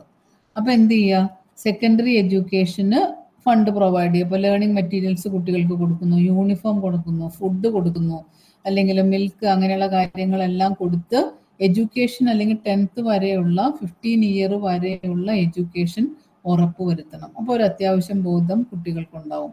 Next higher education planning commission directed that directed that under the fourth plan no new universities should be opened വേണ്ട. It recommended that a provision for better education colleges should be maintained and a sum of റഫ്ലി അപ്പോൾ ഇതിന് ഇത്ര amount കൊടുത്തിരിക്കുക. പുതിയ പുതിയ യൂണിവേഴ്സിറ്റികളോ കോളേജുകളോ start ചെയ്യുക എന്നുള്ളതല്ല ഈ fund കൊടുക്കുന്നത് കൊണ്ട് ഹയർ ഫീൽഡിൽ ഹയർ എഡ്യൂക്കേഷൻ ഫീൽഡിൽ അർത്ഥമാക്കുന്നത്. പിന്നെ എന്താണ്? നിലവിലുള്ളതുകൾ നല്ല ഭംഗിയായിട്ട് പ്രവർത്തിക്കുക. അതിന് എമൗണ്ട് ഫണ്ട് പ്രൊവൈഡ് ചെയ്യാം നെക്സ്റ്റ് വൊക്കേഷണൽ ആൻഡ് ടെക്നിക് അതാ ഞാൻ പറഞ്ഞ കോമൺ ആയിട്ടുള്ള കുറേ കാര്യങ്ങൾ എല്ലാത്തിലും ഉണ്ട്. അപ്പൊ നമ്മൾ ആ കോമൺ ടീച്ചേഴ്സ് പഠിക്കുക. പിന്നെ യുണീക്ക് ആയിട്ടുള്ള എന്തെങ്കിലും കാര്യങ്ങൾ ഓരോ പ്ലാനിലുണ്ടെങ്കിൽ അത് നോട്ട് ചെയ്ത് വൊക്കേഷണൽ ആൻഡ് ടെക്നിക്കൽ എഡ്യൂക്കേഷൻ നമ്മൾ പറഞ്ഞല്ലോ മൾട്ടിപർപ്പസ് സ്കൂളിന്റെ ഒക്കെ ഭാഗമായിട്ട് എല്ലാ സ്കൂളുകളിലും എന്തുണ്ട്? പാഠ്യവിഷയത്തോടൊപ്പം തന്നെ പല പല കാര്യങ്ങൾക്കും വൊക്കേഷനായിട്ടും അത് പലതരത്തിലും ഉണ്ടാവും ഹോം സയൻസ് ആയിരിക്കും കൊമേഴ്സ് ആയിരിക്കാം. നല്ല നല്ല ലിസ്റ്റ് ചെയ്തതാണ്? കൊമേഴ്സ് ഹോം സയൻസ് അങ്ങനെയുള്ള കാര്യങ്ങൾ എല്ലാം ഇമ്പോർട്ടൻസ് കൊടുത്ത് ട്രെയിനിങ് കൊടുക്കുക next physical education the importance of physical education was recognised in the fourth plan the Kunzru committee അതെനിക്കറിയില്ല കേട്ടോ അത് നമുക്ക് നോക്കാം. Had also recommended for the encouragement of physical education also recommended ആണ്. മറ്റവരെ പോലെ തന്നെ ഇങ്ങോരും പറഞ്ഞിട്ടുണ്ട് അതിന്റെ national fitness course and national discipline schemes were encouraged N C C അങ്ങനെയുള്ള റിഫ്രഷ്മെന്റ് ആയിട്ടുള്ള അല്ലെങ്കിൽ നമ്മുടെ ഹെൽത്ത് ഡെവലപ്മെന്റിനൊക്കെ ആവശ്യമായിട്ടുള്ള കാര്യം. ഇപ്പോൾ വെൽനസ് ക്ലബ്ബ് പോലെയുള്ള കാര്യങ്ങൾ the central government helped these programs by providing trained teachers for the purpose. ഉണ്ടോ? ട്രെയിൻഡ് ആയിട്ടുള്ള അതിന് ക്വാളിഫൈഡ് ആയിട്ടുള്ള ടീച്ചേഴ്സിനെ അപ്പോയിന്റ് ചെയ്ത് അതിൽ കുട്ടികൾക്ക് ട്രെയിനിങ് കൊടുക്കുക. അതാണ് ഫിസിക്കൽ എഡ്യൂക്കേഷൻ അർത്ഥമാക്കുന്നത്. Next adult education adult education നമ്മൾ ടൈപ്പ് ഓഫ് എഡ്യൂക്കേഷനിൽ പഠിച്ചിട്ടുണ്ട്. ടൈപ്പ് ഓഫ് എഡ്യൂക്കേഷനിൽ നമ്മൾ അന്ന് പഠിച്ചില്ലേ? Formal non formal informal adult അങ്ങനെയുള്ള കാര്യങ്ങളെല്ലാം പഠിച്ചിട്ടുണ്ടായിരുന്നു. വയോജനം എന്തെങ്കിലും കാര്യം കൊണ്ട് അത് വിട്ടുപോയിട്ടുണ്ടെങ്കിൽ അതുപോലെ നമുക്ക് അത് കണ്ടിന്യൂ ചെയ്ത് അവരെ സൊസൈറ്റിയുടെ മുഖ്യധാരയിലേക്ക് കൊണ്ടുവരാൻ ഈ ഈ പ്ലാനും അതായത് fourth five year plan adult എഡ്യൂക്കേഷന് ഇമ്പോർട്ടൻസ് കൊടുത്തിട്ടുണ്ട്. അതുപോലെ സ്റ്റൈപ്പൻസ് അതായത് കുട്ടികൾക്ക് ഇപ്പോൾ വീക്കർ സെക്ഷൻ ആണോ അല്ലെങ്കിൽ അങ്ങനെയുള്ള ഇപ്പൊ ഏതെങ്കിലും ബാക്ക്വേർഡ് ആയിട്ട് ഇക്കണോമിക്കലി ബാക്ക്വേർഡ് ആയിട്ട് നിൽക്കുന്ന കുട്ടികളാണോ? അങ്ങനെയാണെങ്കിൽ അവർക്ക് ഒരു നിശ്ചിത എമൗണ്ട് പൈസ അവർക്ക് വേണ്ടി ചെലവാക്കുക. അപ്പൊ അതിന് എമൗണ്ട് മാറ്റിവെക്കുക അല്ലെ? അതൊക്കെ ഇപ്പോഴും തുടങ്ങുന്നതാണ്. സ്കോളർഷിപ്പുകൾ ഒരുപാടുണ്ട്. Then next development of languages അത് ഓർമ്മയുണ്ടാവും നിങ്ങൾക്ക് ലാംഗ്വേജുകളുടെ ഡെവലപ്മെന്റ് അതിനാണ് നമ്മൾ പറഞ്ഞിരുന്നത് ത്രീ ലാംഗ്വേജ് ഫോർമുല എന്നൊക്കെ ഇന്നലെ പഠിച്ചിരുന്നതാണ് അല്ലെ? അത് ഇൻട്രൊഡ്യൂസ് ചെയ്തതും അതെല്ലാം ഉദ്ദേശിക്കുന്നത് ഇത്രയാണ്. റീജിയണൽ ആയിട്ടുള്ള ലാംഗ്വേജുകൾ ഡെവലപ്പ് ചെയ്യണം. ഓക്കെ നാഷണൽ ലാംഗ്വേജ് ആയിട്ടുള്ള ഹിന്ദി ഡെവലപ്പ് ചെയ്തിട്ടുണ്ടാവണം. വേൾഡ് ലാംഗ്വേജ് ആയിട്ടുള്ള ഇംഗ്ലീഷും കുഞ്ഞറിഞ്ഞിട്ടുണ്ടാവണം.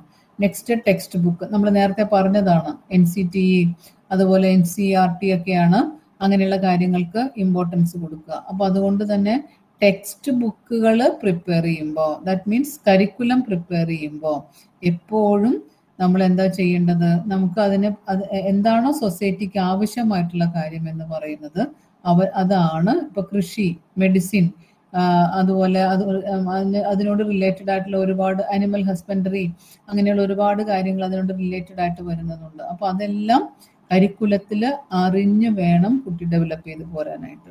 Okay national council of educational research and training നേരത്തെ പറഞ്ഞതാണ് അതെല്ലാം N C R T contributed a great deal in the improvement of text book അതിനാണ് എന്ത് ചെയ്യുന്നത്? എപ്പോഴെപ്പോഴൊക്കെ സിലബസിൽ മാറ്റം വരുത്തുന്നതൊക്കെ അതിന് വേണ്ടിയിട്ടാണ്. The council prepared thirteen text book pertaining to training of teachers കണ്ടോ? ടീച്ചേഴ്സിന്റെ ട്രെയിനിങ്ങിന് വേണ്ടിയിട്ട് അത് ഇൻക്ലൂഡ് ചെയ്തു. ക്ലസ്റ്റർ അങ്ങനെയുള്ള കാര്യങ്ങളെല്ലാം അത് ടെക്സ്റ്റ് ബുക്കുകളെല്ലാം അതിന് ആനുപാതികമായിട്ടുള്ള രീതിയിൽ ഡെവലപ്പ് ചെയ്തു. Next suggestion for reforms in education ഒരുപാട് റിഫോമുകൾ പ്ലാനിങ് കമ്മീഷൻസ് കൊണ്ടുവന്നു. അത് ഈ കമ്മീഷൻസും കമ്മിറ്റികളും കാര്യങ്ങളെല്ലാമാണ്. അപ്പൊ ഇത്രയുമാണ് ഫോർത്ത് ഫൈവ് ഇയർ പ്ലാനിന്റെ റെക്കമെൻഡേഷൻസ് ഇൻ എഡ്യൂക്കേഷനിലുള്ളത് ഇനി നെക്സ്റ്റ് ഫിഫ്ത്ത് ഇത് തിയററ്റിക്കലാണ് കേട്ടോ. നമുക്ക് വേറെ മാർഗമൊന്നുമില്ല. ഇത് ഈ രീതിയിൽ തന്നെ ഇങ്ങനെ പറഞ്ഞു പോകുക എന്നുള്ളതേ ഉള്ളൂ. നിങ്ങൾ അതിന്റെ ഏതെങ്കിലും രീതിയിൽ മനസ്സിലാകത്തക്ക രീതിയിൽ അതിനാക്കി എടുക്കുക എന്നുള്ളതാണ് നമുക്ക് അതുകൊണ്ട് ചെയ്യാവുന്ന കാര്യം. എല്ലാത്തിലും ഉള്ള പോലെ തന്നെ കുറച്ച് പോയിന്റ്സുകളൊക്കെ കോമൺ ആയിട്ട് നമുക്ക് കിട്ടും. പ്രൈമറി എഡ്യൂക്കേഷൻ ഉണ്ട് അതുപോലെ തന്നെ സെക്കൻഡറി എഡ്യൂക്കേഷൻ ഉണ്ട്. അതൊന്നും ഞാൻ ഇനി പറയുന്നില്ല വീണ്ടും വീണ്ടും റിപ്പീറ്റ് ചെയ്ത് വരുന്നതാണ്. അതൊക്കെ കാര്യം അടിസ്ഥാന വിദ്യാഭ്യാസം എന്ന് പറയുന്നതിലെല്ലാം ഇതെല്ലാം ഉണ്ട്. University education കണ്ടാം? Scholarship and language development special attention to development of Hindi അത് ഈ കമ്മീഷന്റെ അല്ലെങ്കിൽ ഈ ഫൈവ് ഇയർ പ്ലാനിന്റെ പ്രത്യേകതയാണോ? ഏതാമത്തെ ഫിഫ്ത്ത് ഫൈവ് ഇയർ പ്ലാനിൽ വരുന്നതാണ്? Special attention attention to development of Hindi മറ്റേതിൽ നമ്മൾ ത്രീ ലാംഗ്വേജ് ഫോർമുലയിൽ നാഷണൽ ലാംഗ്വേജ് എന്ന രീതിയിൽ ഹിന്ദി പഠിക്കുന്നുണ്ടായിരുന്നു. അതുകൂടാതെ ഹിന്ദി എന്ന് പറയുന്ന ഭാഷയ്ക്ക് കുറച്ചുകൂടെ പ്രാധാന്യം കൊടുക്കുക. ഇപ്പൊ അതിനുള്ള അങ്ങനെയുള്ള യൂണിവേഴ്സിറ്റികൾ സ്റ്റാർട്ട് ചെയ്യുക. അതായത് ലാംഗ്വേജ് യൂണിവേഴ്സിറ്റികൾ സ്റ്റാർട്ട് ചെയ്യുക. എന്നിട്ട് അതിന് ആ രീതിയിൽ പുതിയ പുതിയ ഡിപ്പാർട്ട്മെന്റുകൾ തുടങ്ങുക. അതിന് സ്കോളർഷിപ്പ് കൊടുക്കുക. കുട്ടികളെ കൂടുതലായിട്ട് ആകർഷിക്കുക. മനസ്സിലായോ? അങ്ങനെയുള്ള കാര്യങ്ങൾ. നെക്സ്റ്റ് ടെക്നിക്കൽ എഡ്യൂക്കേഷൻ അതിലും അത്രേ ഉള്ളൂ. അത് മാത്രമേ അതിൽ പ്രത്യേകമായിട്ട് പറയാനുള്ളൂ. Next sixth five year plan sixth five year plan അല്ലെങ്കിൽ general education policy to be followed adult education ഇത് ഇതിനു മുമ്പ് വന്നിരുന്നതാണ് കേട്ടോ. Adult education age between fifteen to thirteen years okay അങ്ങനെ എന്തെങ്കിലും കാരണവശാൽ വിദ്യാഭ്യാസം നഷ്ടപ്പെട്ടു പോയിട്ടുണ്ടെങ്കിൽ അവർക്ക് എഡ്യൂക്കേഷനുള്ള സൗകര്യം ഏർപ്പെടുത്തി കൊടുക്കുക. Next compulsory primary education for children up to between sixteen to fourteen years നമ്മൾ ആർട്ടിക്കിൾ ഫോർട്ടി ഫൈവിൽ പറഞ്ഞ പോലെ കമ്പൽസറി എഡ്യൂക്കേഷൻ പ്രൊവൈഡ് ചെയ്യാം. Next attempts will be made to enrol boys and girls from the scheduled caste tribes and other weaker sections of the society അങ്ങനെയുള്ളവരെ കണ്ടുപിടിച്ച് weaker sections of സൊസൈറ്റിയിലുള്ളവരെ എന്ത് ചെയ്യുക? എൻറോൾ ചെയ്യിപ്പിക്കുക. അതുപോലെ അതിൽ ഗേൾസിനെയും ബോയ്സിനെയും പങ്കെടുപ്പിക്കുക ഉൾപ്പെടുത്തുക. Okay next greater attention will be paid to the qualitative development of secondary and higher education ഉണ്ടോ? Will be paid to qualitative development of ഗുണപരമായ മാറ്റമായിരിക്കണം. നമ്പർ കൂട്ടാതെ ഉള്ള നമ്പറുകളിൽ കറക്റ്റായിട്ട് ചെയ്യാൻ പറ്റുക. സ്കൂൾസുകളെല്ലാം എഡ്യൂക്കേഷൻ ഇമ്പാർട്ട് ചെയ്യുന്ന സ്ഥലങ്ങളായിട്ട് മാറട്ടെ. അതാണ് അത് ഉദ്ദേശിക്കുന്നത്. Greater attention will be paid to the development of qualitative development okay next vocational education will be introduce in secondary school secondary സ്കൂളിൽ എന്ത് ചെയ്യണം? വൊക്കേഷണൽ എഡ്യൂക്കേഷൻ സ്റ്റാർട്ട് ചെയ്തിട്ടുണ്ടാവണം. തൊഴിൽപരമായിട്ടുള്ള.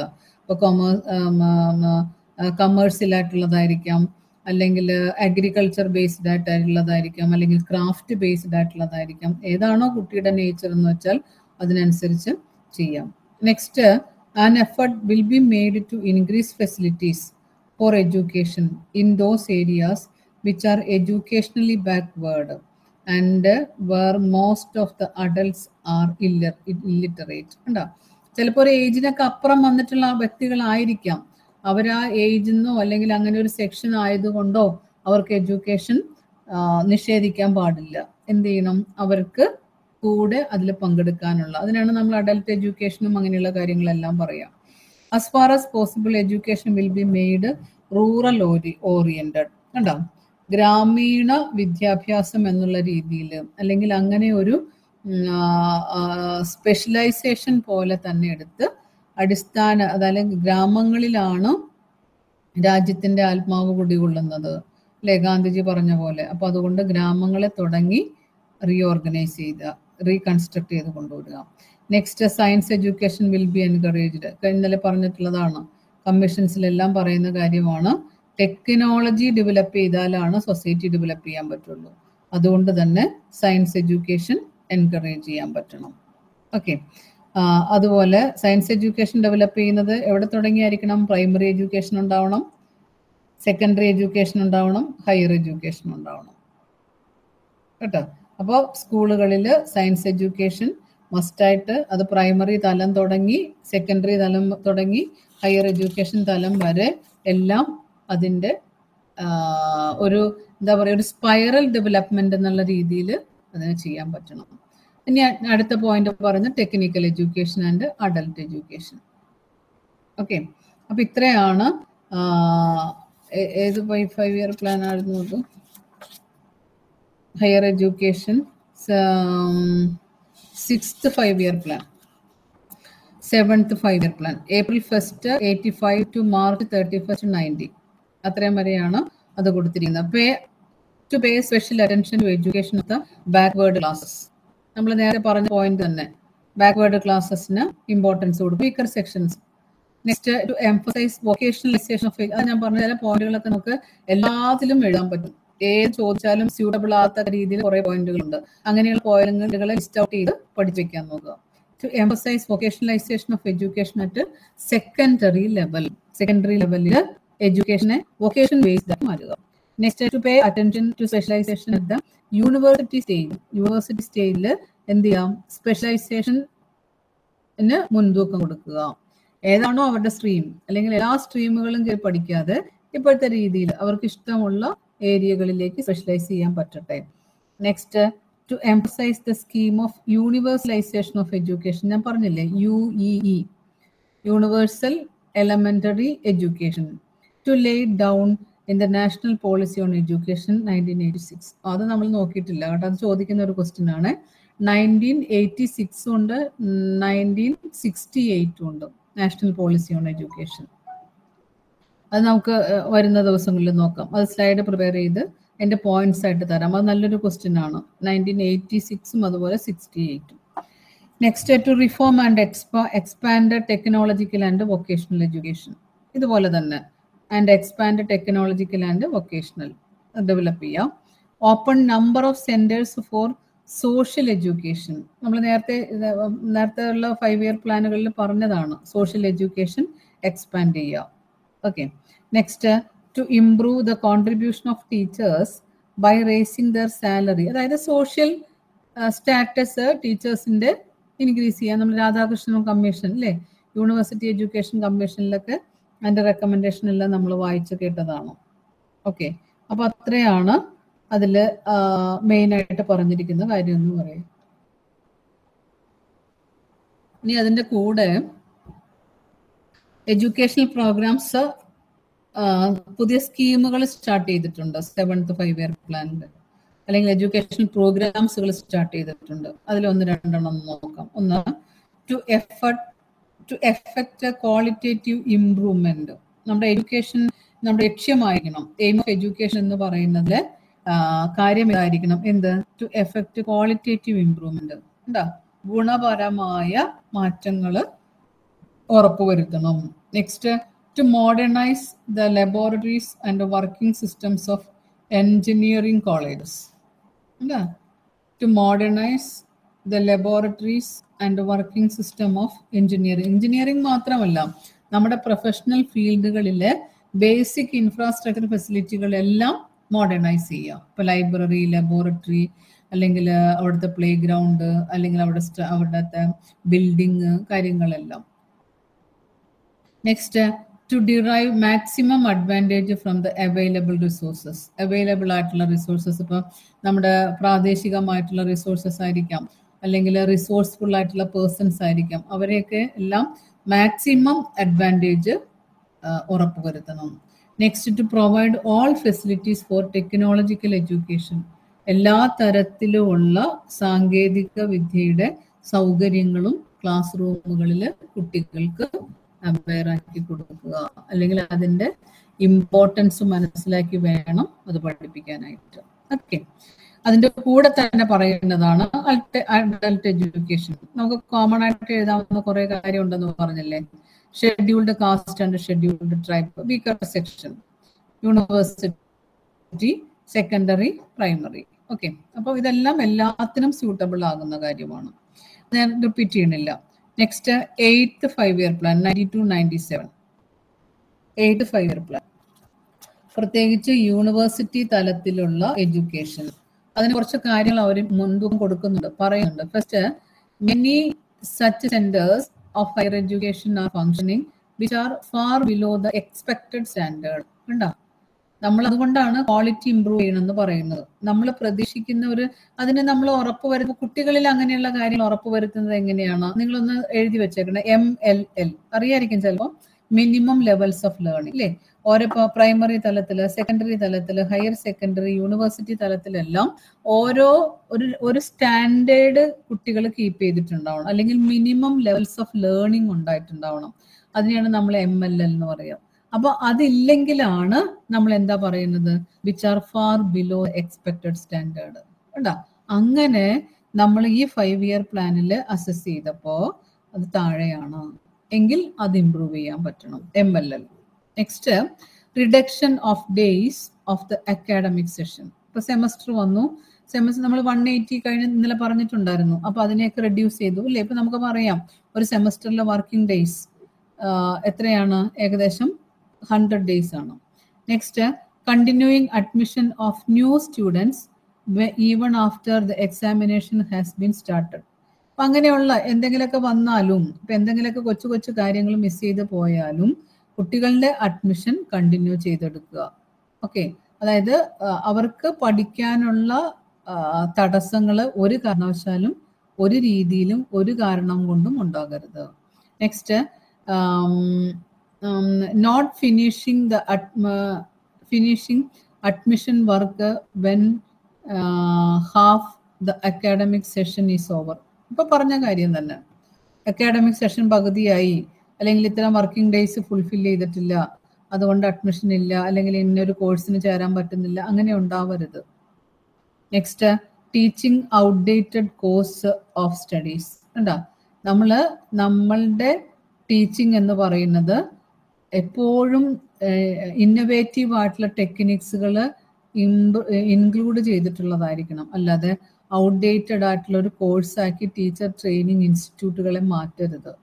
അങ്ങനെ വരുമ്പോൾ ക്വാളിറ്റി ഓഫ് എഡ്യൂക്കേഷൻ മാറും. ടീച്ചർ എഡ്യൂക്കേഷന്റെ പാറ്റേൺ തന്നെ മാറിപ്പോവും. അതുകൊണ്ട് അപ്ഡേറ്റ് ചെയ്യണം. Differences in the educational standards of various colleges preparing students for the same degree or discipline കണ്ടോ? അപ്പോൾ അതിന്റെ പല സ്ഥലത്തിലുള്ള differences in the educational standard of various colleges ഇപ്പൊ ചില സ്ഥാപനങ്ങളൊക്കെ നല്ല രീതിയിൽ പ്രവർത്തിക്കുന്നുണ്ടാവും. ചില സിലബസുകൾ ഫോളോ ചെയ്യുന്നതെല്ലാം അക്കാഡമിക് ആയിട്ടും നോൺ അക്കാഡമിക് ആയിട്ടൊക്കെ റിച്ച് ആയിരിക്കും. ചില ചില സിലബസുകൾ അത്ര അങ്ങോട്ട് എത്തുന്നുണ്ടാവുന്നില്ല അപ്പൊ അങ്ങനെയുള്ള ആ ഒരു ഡിസ്പാരിറ്റി കഴിയുന്നത്ര നമുക്ക് കുറയ്ക്കാൻ പറ്റണം. Of various colleges pertaining students for the same degree or discipline next lack of encouragement for research higher സെക്ഷനിലൊക്കെ ആണെങ്കിൽ അല്ലെങ്കിൽ എന്താ പറയാ ഹയർ എഡ്യൂക്കേഷൻ ഫീൽഡിൽ കേട്ടിട്ടുണ്ടോ? എഫ് ഡി പി എന്നൊക്കെ പറഞ്ഞിട്ട് ഫാക്കൽറ്റി ഡെവലപ്മെന്റ് പ്രോഗ്രാം ഇന്നലെയൊക്കെ നമ്മൾ നോക്കിയതാണ്. അങ്ങനെ ലീവോടുകൂടി ഫണ്ട് അനുവദിച്ച് എല്ലാം അങ്ങനെയുള്ള റിസർച്ചിന് എൻകറേജ്മെന്റ് കൊടുക്കുക. പിന്നെ of course secondary education primary education ഒരു പോയിന്റ് അവിടെ അഡീഷണൽ വന്നിരിക്കുന്നത് എൻ ഐ വോയിസ് എന്നുള്ളതാണ്. എൻ ഐ വോയിസ് എന്ന് പറഞ്ഞാൽ എന്താണ്? National institute of open schooling ഇതുപോലത്തെ ഏതെങ്കിലും കാരണം കൊണ്ടൊക്കെ നഷ്ടപ്പെട്ടവർക്ക് അത് തുടർ പഠിക്കാനുള്ളത്. Next teacher education adult education vocation അതൊന്നും ഒന്നും പറയാനില്ല. അപ്പൊ എൻ ഐ വോയിസ് എന്നുള്ളത് ഒരു പുതിയ കോൺസെപ്റ്റ് ആണ് കേട്ടോ. National open schooling national institute for open schooling okay education of handicapped and establishment of Navodaya Vidya രണ്ട് പോയിന്റ് അവിടെ പറഞ്ഞിട്ടുണ്ട്. ഹാൻഡിക്യാപ്ഡ് എന്ന് പറഞ്ഞാൽ എന്താണ്? സ്പെഷ്യൽ സ്കൂൾസുകൾ അല്ലേ? എം ആർ അങ്ങനെയുള്ള ഏതെങ്കിലും മെന്റലി റിട്ടാർഡഡ് ആയിട്ടുള്ള അല്ലെങ്കിൽ ഇന്റലക്ച്വലി ചലഞ്ച്ഡ് ആയിട്ടുള്ള അതുപോലെ ഫിസിക്കലി ചലഞ്ച്ഡ് ആയിട്ടുള്ള കുട്ടികളെല്ലാം അക്കോമഡേറ്റ് ചെയ്യാനായിട്ടുള്ള സ്പെഷ്യൽ സ്കൂൾസുകൾ ഓക്കെ എന്നിട്ട് അവരെ ട്രെയിനിങ് കൊടുത്ത് മുഖ്യധാരയിലേക്ക് കൊണ്ടുവരിക. അതുപോലെ നവോദയ വിദ്യ നവോദയ വിദ്യാലയം എന്തിനു വേണ്ടിയിട്ടായിരുന്നു? റൂറൽ ഏരിയയിലുള്ള ബ്രില്യന്റ് ആയിട്ടുള്ള കുട്ടികളെ സെലക്ട് ചെയ്ത് അവർക്ക് ട്രെയിനിങ്ങും എഡ്യൂക്കേഷനും കൊടുത്ത് അവരുടെ കോമ്പിറ്റൻസി ഡെവലപ്പ് ചെയ്ത് അവരുടെ അറിവിനെ സമൂഹത്തിന്റെ നന്മയ്ക്ക് വേണ്ടി ഉപയോഗപ്പെടുത്തുക. അതിന് വേണ്ടിയിട്ടാണ് നവോദയ സ്റ്റാർട്ട് ചെയ്തിരിക്കുന്നത്. ഓക്കെ നെക്സ്റ്റ് ടെക്നിക്കൽ ടെക്നിക്കൽ സ്കൂളുകളെല്ലാം സാങ്കേതികപരമായിട്ടുള്ള സ്കൂളുകൾ. ഓക്കെ അപ്പോൾ next Indian institute of management I I M D S അതിലൊന്നും പറയാനില്ല. ഓക്കെ അപ്പോൾ ഈ ഈ ഫൈവ് ഇയർ പ്ലാനിന്റെ അതിൽ കുറച്ച് അധികം പോയിന്റുകൾ ഉണ്ട് ഏത് എയ്ത്ത് ഫൈവ് ഇയർ പ്ലാനിൽ കേട്ടോ? അപ്പൊ ആ പോയിന്റുകളെല്ലാം എല്ലാം നമുക്ക് ഏകദേശമൊക്കെ അറിവുള്ളതാണ്. റിപ്പീറ്റഡ് ആയിട്ട് വരുന്ന കാര്യങ്ങളാണ്. എൻ ഐ വോയിസ് അങ്ങനെയുള്ള കൊച്ചു കൊച്ചു കുഞ്ഞിതകൾ മാത്രമേ ഇല്ലാതായിട്ടുള്ളൂ. പുതിയതായിട്ടുള്ളതുള്ളൂ. അപ്പോൾ അത് ഇൻക്ലൂഡ് ചെയ്യാം. ഓക്കെ ഇനി ninth five year plan ninth five year plan ninth five year plan ആണ് ശരിക്കും അത്യാവശ്യം നമ്മളിപ്പോ പ്രസന്റ് കോണ്ടെക്സ്റ്റിൽ ചിന്തിക്കുമ്പോൾ നമുക്കൊന്ന് കമ്പയർ ചെയ്യാൻ പറ്റുന്നത്. കാര്യം പഴയതൊക്കെ നമുക്ക് അത്രയും കൊണ്ട് ചിലപ്പോൾ അതിനോട് കണക്ട് ചെയ്ത് പോകാൻ പറ്റിയെന്നിരിക്കില്ല. ഇത് നയൻത്ത് ഫൈവ് ഇയർ പ്ലാൻ ഒക്കെ നമുക്ക് കുറച്ചുകൂടെ ഇതാക്കാൻ പറ്റും. അതിൽ action plan for E C E അതായത് ഏർലി ചൈൽഡ്ഹുഡ് എഡ്യൂക്കേഷൻ അതിലിങ്ങനെയാ പറയുന്നത്? Early childhood care and education അങ്ങനെയാ പറയാ. E C C E C C E അങ്ങനെയാ പറയുന്നത് ശരിക്കും അത്. അതായത് ഏർലി ചൈൽഡ്ഹുഡ് എന്ന് പറഞ്ഞാൽ ഒരു കുഞ്ഞ് കൺസീവ് ചെയ്യുന്ന സമയം തുടങ്ങി അവൻ എവിടെയാണോ എവിടം വരെയാണോ വിദ്യാഭ്യാസം അവസാനിപ്പിക്കുന്നത്. അതാണ് ഏർലി ചൈൽഡ്ഹുഡ് ഉദ്ദേശിക്കുക. കേട്ടോ? Early childhood care and education ഇത് ചോദിക്കുന്ന ഒരു ക്വസ്റ്റ്യൻ ആണ്. അതിന്റെ പ്ലാൻ ആ ആ ഒരു കോൺസെപ്റ്റ് ഡെവലപ്പ് ചെയ്തത് നയൻത്ത് ഫൈവ് ഇയർ പ്ലാനിലാണ് നയന്റി സെവൻ രണ്ടായിരത്തി രണ്ട് തുടങ്ങി രണ്ടായിരത്തി രണ്ട് വരെ the issues were to be adjust in the ninth plan were as follows ഒന്ന് combining pre school and primary level methodologies along with health and nutritional concern teacher training programmes pre service as well as in service എന്താ പറഞ്ഞേക്കണേ? Pre service ആയാലും in service ആയാലും pre സ്കൂളും അതുപോലെ primary level methodology അങ്ങനെയുള്ള കാര്യങ്ങളെല്ലാം എന്താണ്? Combine ചെയ്തിട്ടുണ്ടാവണം. അതിൽ എന്തിനൊക്കെ ഇമ്പോർട്ടൻസ് കൊടുക്കേണ്ടത്? ഹെൽത്ത് ന്യൂട്രീഷ്യസ് മനസ്സിലായോ? ടീച്ചർ ട്രെയിനിങ് പ്രോഗ്രാംസ് അങ്ങനെയുള്ള കാര്യങ്ങൾക്കെല്ലാം ഇമ്പോർട്ടൻസ് കൊടുത്ത് വേണം മുന്നോട്ട് പോകാനായിട്ട് അല്ലാതെ കുറേ ബുദ്ധി ഇന്റലക്ച്വൽ ആയിട്ടുള്ള കൊഗ്നേറ്റീവ് ആയിട്ട് മാത്രമുള്ള ഡെവലപ്മെന്റ് ആവരുത്. ഹെൽത്ത് വൈസ് നമ്മൾ പറഞ്ഞ പോലെ ഓൾറൗണ്ട് ഡെവലപ്മെന്റ് പോസിബിൾ ആകണം. Okay next encouraging the adaption of E C E to the environment and conditions of the children through innovative alternatives എന്താണ് ഇന്നവേറ്റീവ് എന്ന് പറയാനായിട്ട്? സൊസൈറ്റിയിൽ ഒരുപാട് പുതിയ പുതിയ ടെക്നിക്സുകൾ വരുന്നുണ്ട്. ആ ടെക്നിക്സുകൾ ഇൻക്ലൂഡ് ചെയ്ത് എയർലി ചൈൽഡ്ഹുഡ് കെയർ ഉറപ്പുവരുത്തിയിട്ടുണ്ടാവണം. ഇപ്പൊ നമ്മൾ അതങ്ങനെയാണ് അംഗൻവാടികളൊക്കെ ഇത്രയും ഫേമസ് ആയതും. അംഗൻവാടികളിലൂടെ ഒരു ബാലൻസ്ഡ് ഫുഡിന്റെ ഒരു പാറ്റേൺ അവർക്ക് കൊടുക്കുന്നതും അല്ലെങ്കിൽ അവയർനെസ് ഇപ്പോൾ എന്താ പറയാ ഒരു പ്രഗ്നന്റ് ലേഡി ഏരിയയിലുണ്ടെങ്കിൽ അവർക്ക് കൊണ്ടുവന്ന് അങ്ങനെയുള്ള സാധനങ്ങളൊക്കെ കൊടുക്കുക ടാബ്ലറ്റ്സുകൾ കൊടുക്കുക പിന്നെ ചില ചില പൗഡറുകൾ കൊടുക്കുക മെഡിസിൻസ് കറക്റ്റായിട്ട് അതുപോലെ തന്നെ ഇമ്മ്യൂണൈസേഷന്റെ ഇഞ്ചെക്ഷൻസ് കാര്യങ്ങളെല്ലാം. പിന്നെ കുഞ്ഞുണ്ടായാലും അങ്ങനെ അതൊക്കെ ഇതിന്റെ ഭാഗമായിട്ട് വരുന്നതാണ്. Early childhood care and education next Orion orienting P R I to provision of community supported creches and day care centres attached to anganwadi primary school മനസ്സിലായ? അങ്ങനെയുള്ളത്. കാര്യം എന്താന്ന് വെച്ചിട്ടുണ്ടെങ്കിൽ ആ കുഞ്ഞുങ്ങൾക്ക് അവരുടെ ബാല്യകാലം മിസ്സാകാതിരിക്കുന്നതിനും അവരുടെ പ്രഷ്യസ് ആയിട്ടുള്ള ടൈം മിസ്സായി പോകാതിരിക്കാനൊക്കെ വേണ്ടിയിട്ട്. Next mobilisation of local women's group to set up and manage E C E centres mobilise ചെയ്യാം. എന്ത്? ലോക്കൽ വിമൺസ് ഗ്രൂപ്പ് എന്തിനു വേണ്ടിയിട്ട്? ടു മാനേജ് ഇ സി ഇപ്പൊ ഇങ്ങനെ കണ്ടിട്ടുണ്ടാവും. ഇപ്പം ചില ഹോമുകളുണ്ട്. ചിൽഡ്രൻസ് ഹോമുകളുണ്ട്. അപ്പൊ അതിൽ ആളുകളുണ്ട്. കുഞ്ഞുങ്ങളെ നോക്കാനും അങ്ങനെയൊക്കെ. അവിടെ വരുന്ന പിള്ളേരെ നോക്കാനൊക്കെ വേണ്ടിയിട്ട്. അതാ പറയാം mobilise the local women's group to set up and manage E C E centres early childhood care കാര്യം അവരുടെ മൂന്ന് വയസ്സ് അല്ലെങ്കിൽ ഓരോ ഏജ് എന്ന് പറയുന്നതും വളരെ ക്രൂഷ്യലാണ് കാര്യം അവരുടെ ക്യാരക്ടർ ഫോർമേഷൻ ആവാം ഹെൽത്ത് വൈസ് ആകാം അതെല്ലാം കഴിഞ്ഞ് കുറെ കഴിഞ്ഞിട്ട് നമുക്ക് ഇതൊന്നും കറക്റ്റ് ചെയ്യാൻ പറ്റില്ല. അപ്പൊ അതുകൊണ്ട് തന്നെ എയർലി കെയർ ആവശ്യമാണ്. Next production of inexpensive play materials for children by using local materials and talents of local artisans and school children engaged in socially useful productive work അത് കേട്ടിട്ടുണ്ടാവും S U P W and social service activities according to their curriculum കരിക്കുലത്തിന്റെ ഭാഗമായിട്ട് സർവീസുകൾ ചെയ്യുക പ്രോഡക്റ്റുകൾ conduct ചെയ്യുക പ്രോഡക്റ്റുകൾ participate ചെയ്യുക. ഏതെങ്കിലും ക്ലീനിങ് ആയിരിക്കാം അല്ലെങ്കിൽ ഏതെങ്കിലും സാധനങ്ങൾ ക്രിയേറ്റ് ചെയ്ത് ചെയ്യുന്നതായിരിക്കാം. മനസ്സിലായോ? അങ്ങനെ വലിയ ഫണ്ട് മൊബിലൈസ് ചെയ്ത് ചെയ്യുന്ന കാര്യങ്ങളെക്കാൾ ഉപരിയായിട്ട് ഈസിലി അവൈലബിൾ ആയിട്ടുള്ള കാര്യങ്ങൾ കാര്യങ്ങളോട് ചേർന്ന് കാര്യങ്ങൾ സ്കൂളുകളെ കൊണ്ട എത്തിക്കാനായിട്ട് നമുക്ക് പറ്റിയിട്ടുണ്ടാവണം അല്ലേ? Production of inexpensive play materials of children by using local materials and talents of local artisans കാരണം അവിടെയാണ് നമുക്ക് നമ്മൾ നേരത്തെ പറഞ്ഞില്ലേ ഫോക്ക് സോങ്സുകൾ അങ്ങനെ അതുപോലെ ലോക്കലായി ലോക്കലി അവൈലബിൾ ആയിട്ടുള്ള ലെസ് എക്സ്പെൻസീവ് ആയിട്ടുള്ള ഒരുപാട് കാര്യങ്ങൾ ഉണ്ടാവാം അപ്പം അങ്ങനെയുള്ള കാര്യങ്ങൾക്ക് ഇമ്പോർട്ടൻസ് കൊടുക്കുക. Next strengthening resources groups of E C E and N C R T SCERT SCERT എന്ന് പറഞ്ഞാൽ എന്തായിരിക്കും? അതിന്റെ സ്റ്റേറ്റിന്റെ ഇതാണ്. State council for education research and training എന്നാണ് അവർ ഉദ്ദേശിക്കുക next N G O and other such organization to conduct research, training, materials production and extension activities of E C E ഇവിടെ വരുന്ന റിസർച്ച് എന്ന് പറയുന്നത് ആക്ഷൻ റിസർച്ച് ആണ്.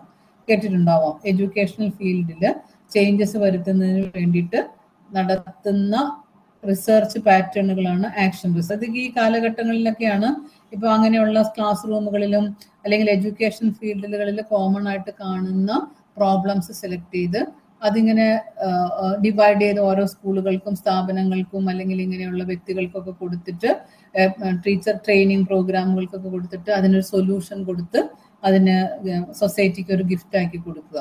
അത് action റിസർച്ചിന്റെ പരിധിയിൽ വരുന്നതാണ്. അപ്പോൾ അതൊക്കെയാണ് ആ പറഞ്ഞ കാര്യങ്ങൾ എന്ന് പറയാം. ഓക്കെ? അപ്പൊ ഇന്ന് ഇത്രയും കാര്യങ്ങളാണ് നമ്മൾ നോക്കിയത്. സോഷ്യോളജിയുടെ പാർട്ടായിരുന്നു അതുകൊണ്ട് തന്നെ നിങ്ങളുടെ മൊഡ്യൂൾ ബേസ്ഡ് ആയിട്ടാണ് ടീച്ചിങ് പോയിരിക്കുന്നത്. ഞാൻ റിപ്പീറ്റ് ചെയ്യണില്ല കാര്യം ഓരോ സ്ഥലത്തും ഏതൊക്കെ രീതിയിലാണ് കാര്യങ്ങൾ ചോദിക്കുക എന്നൊക്കെ ഞാൻ പറഞ്ഞു തന്നിട്ടുണ്ട്. അതിന്റെ കൂടെ അഡീഷണൽ ആയിട്ടുള്ള പോയിന്റ്സുകളെല്ലാം മാർക്ക് ചെയ്യാം നിങ്ങൾക്ക്. അത് പഠിക്കുക.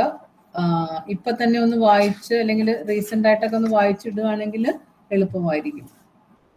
കേട്ടോ? ഇനി ഇന്നത്തെ ക്ലാസ് വൈൻഡപ്പ് ചെയ്യാണ്. Thank you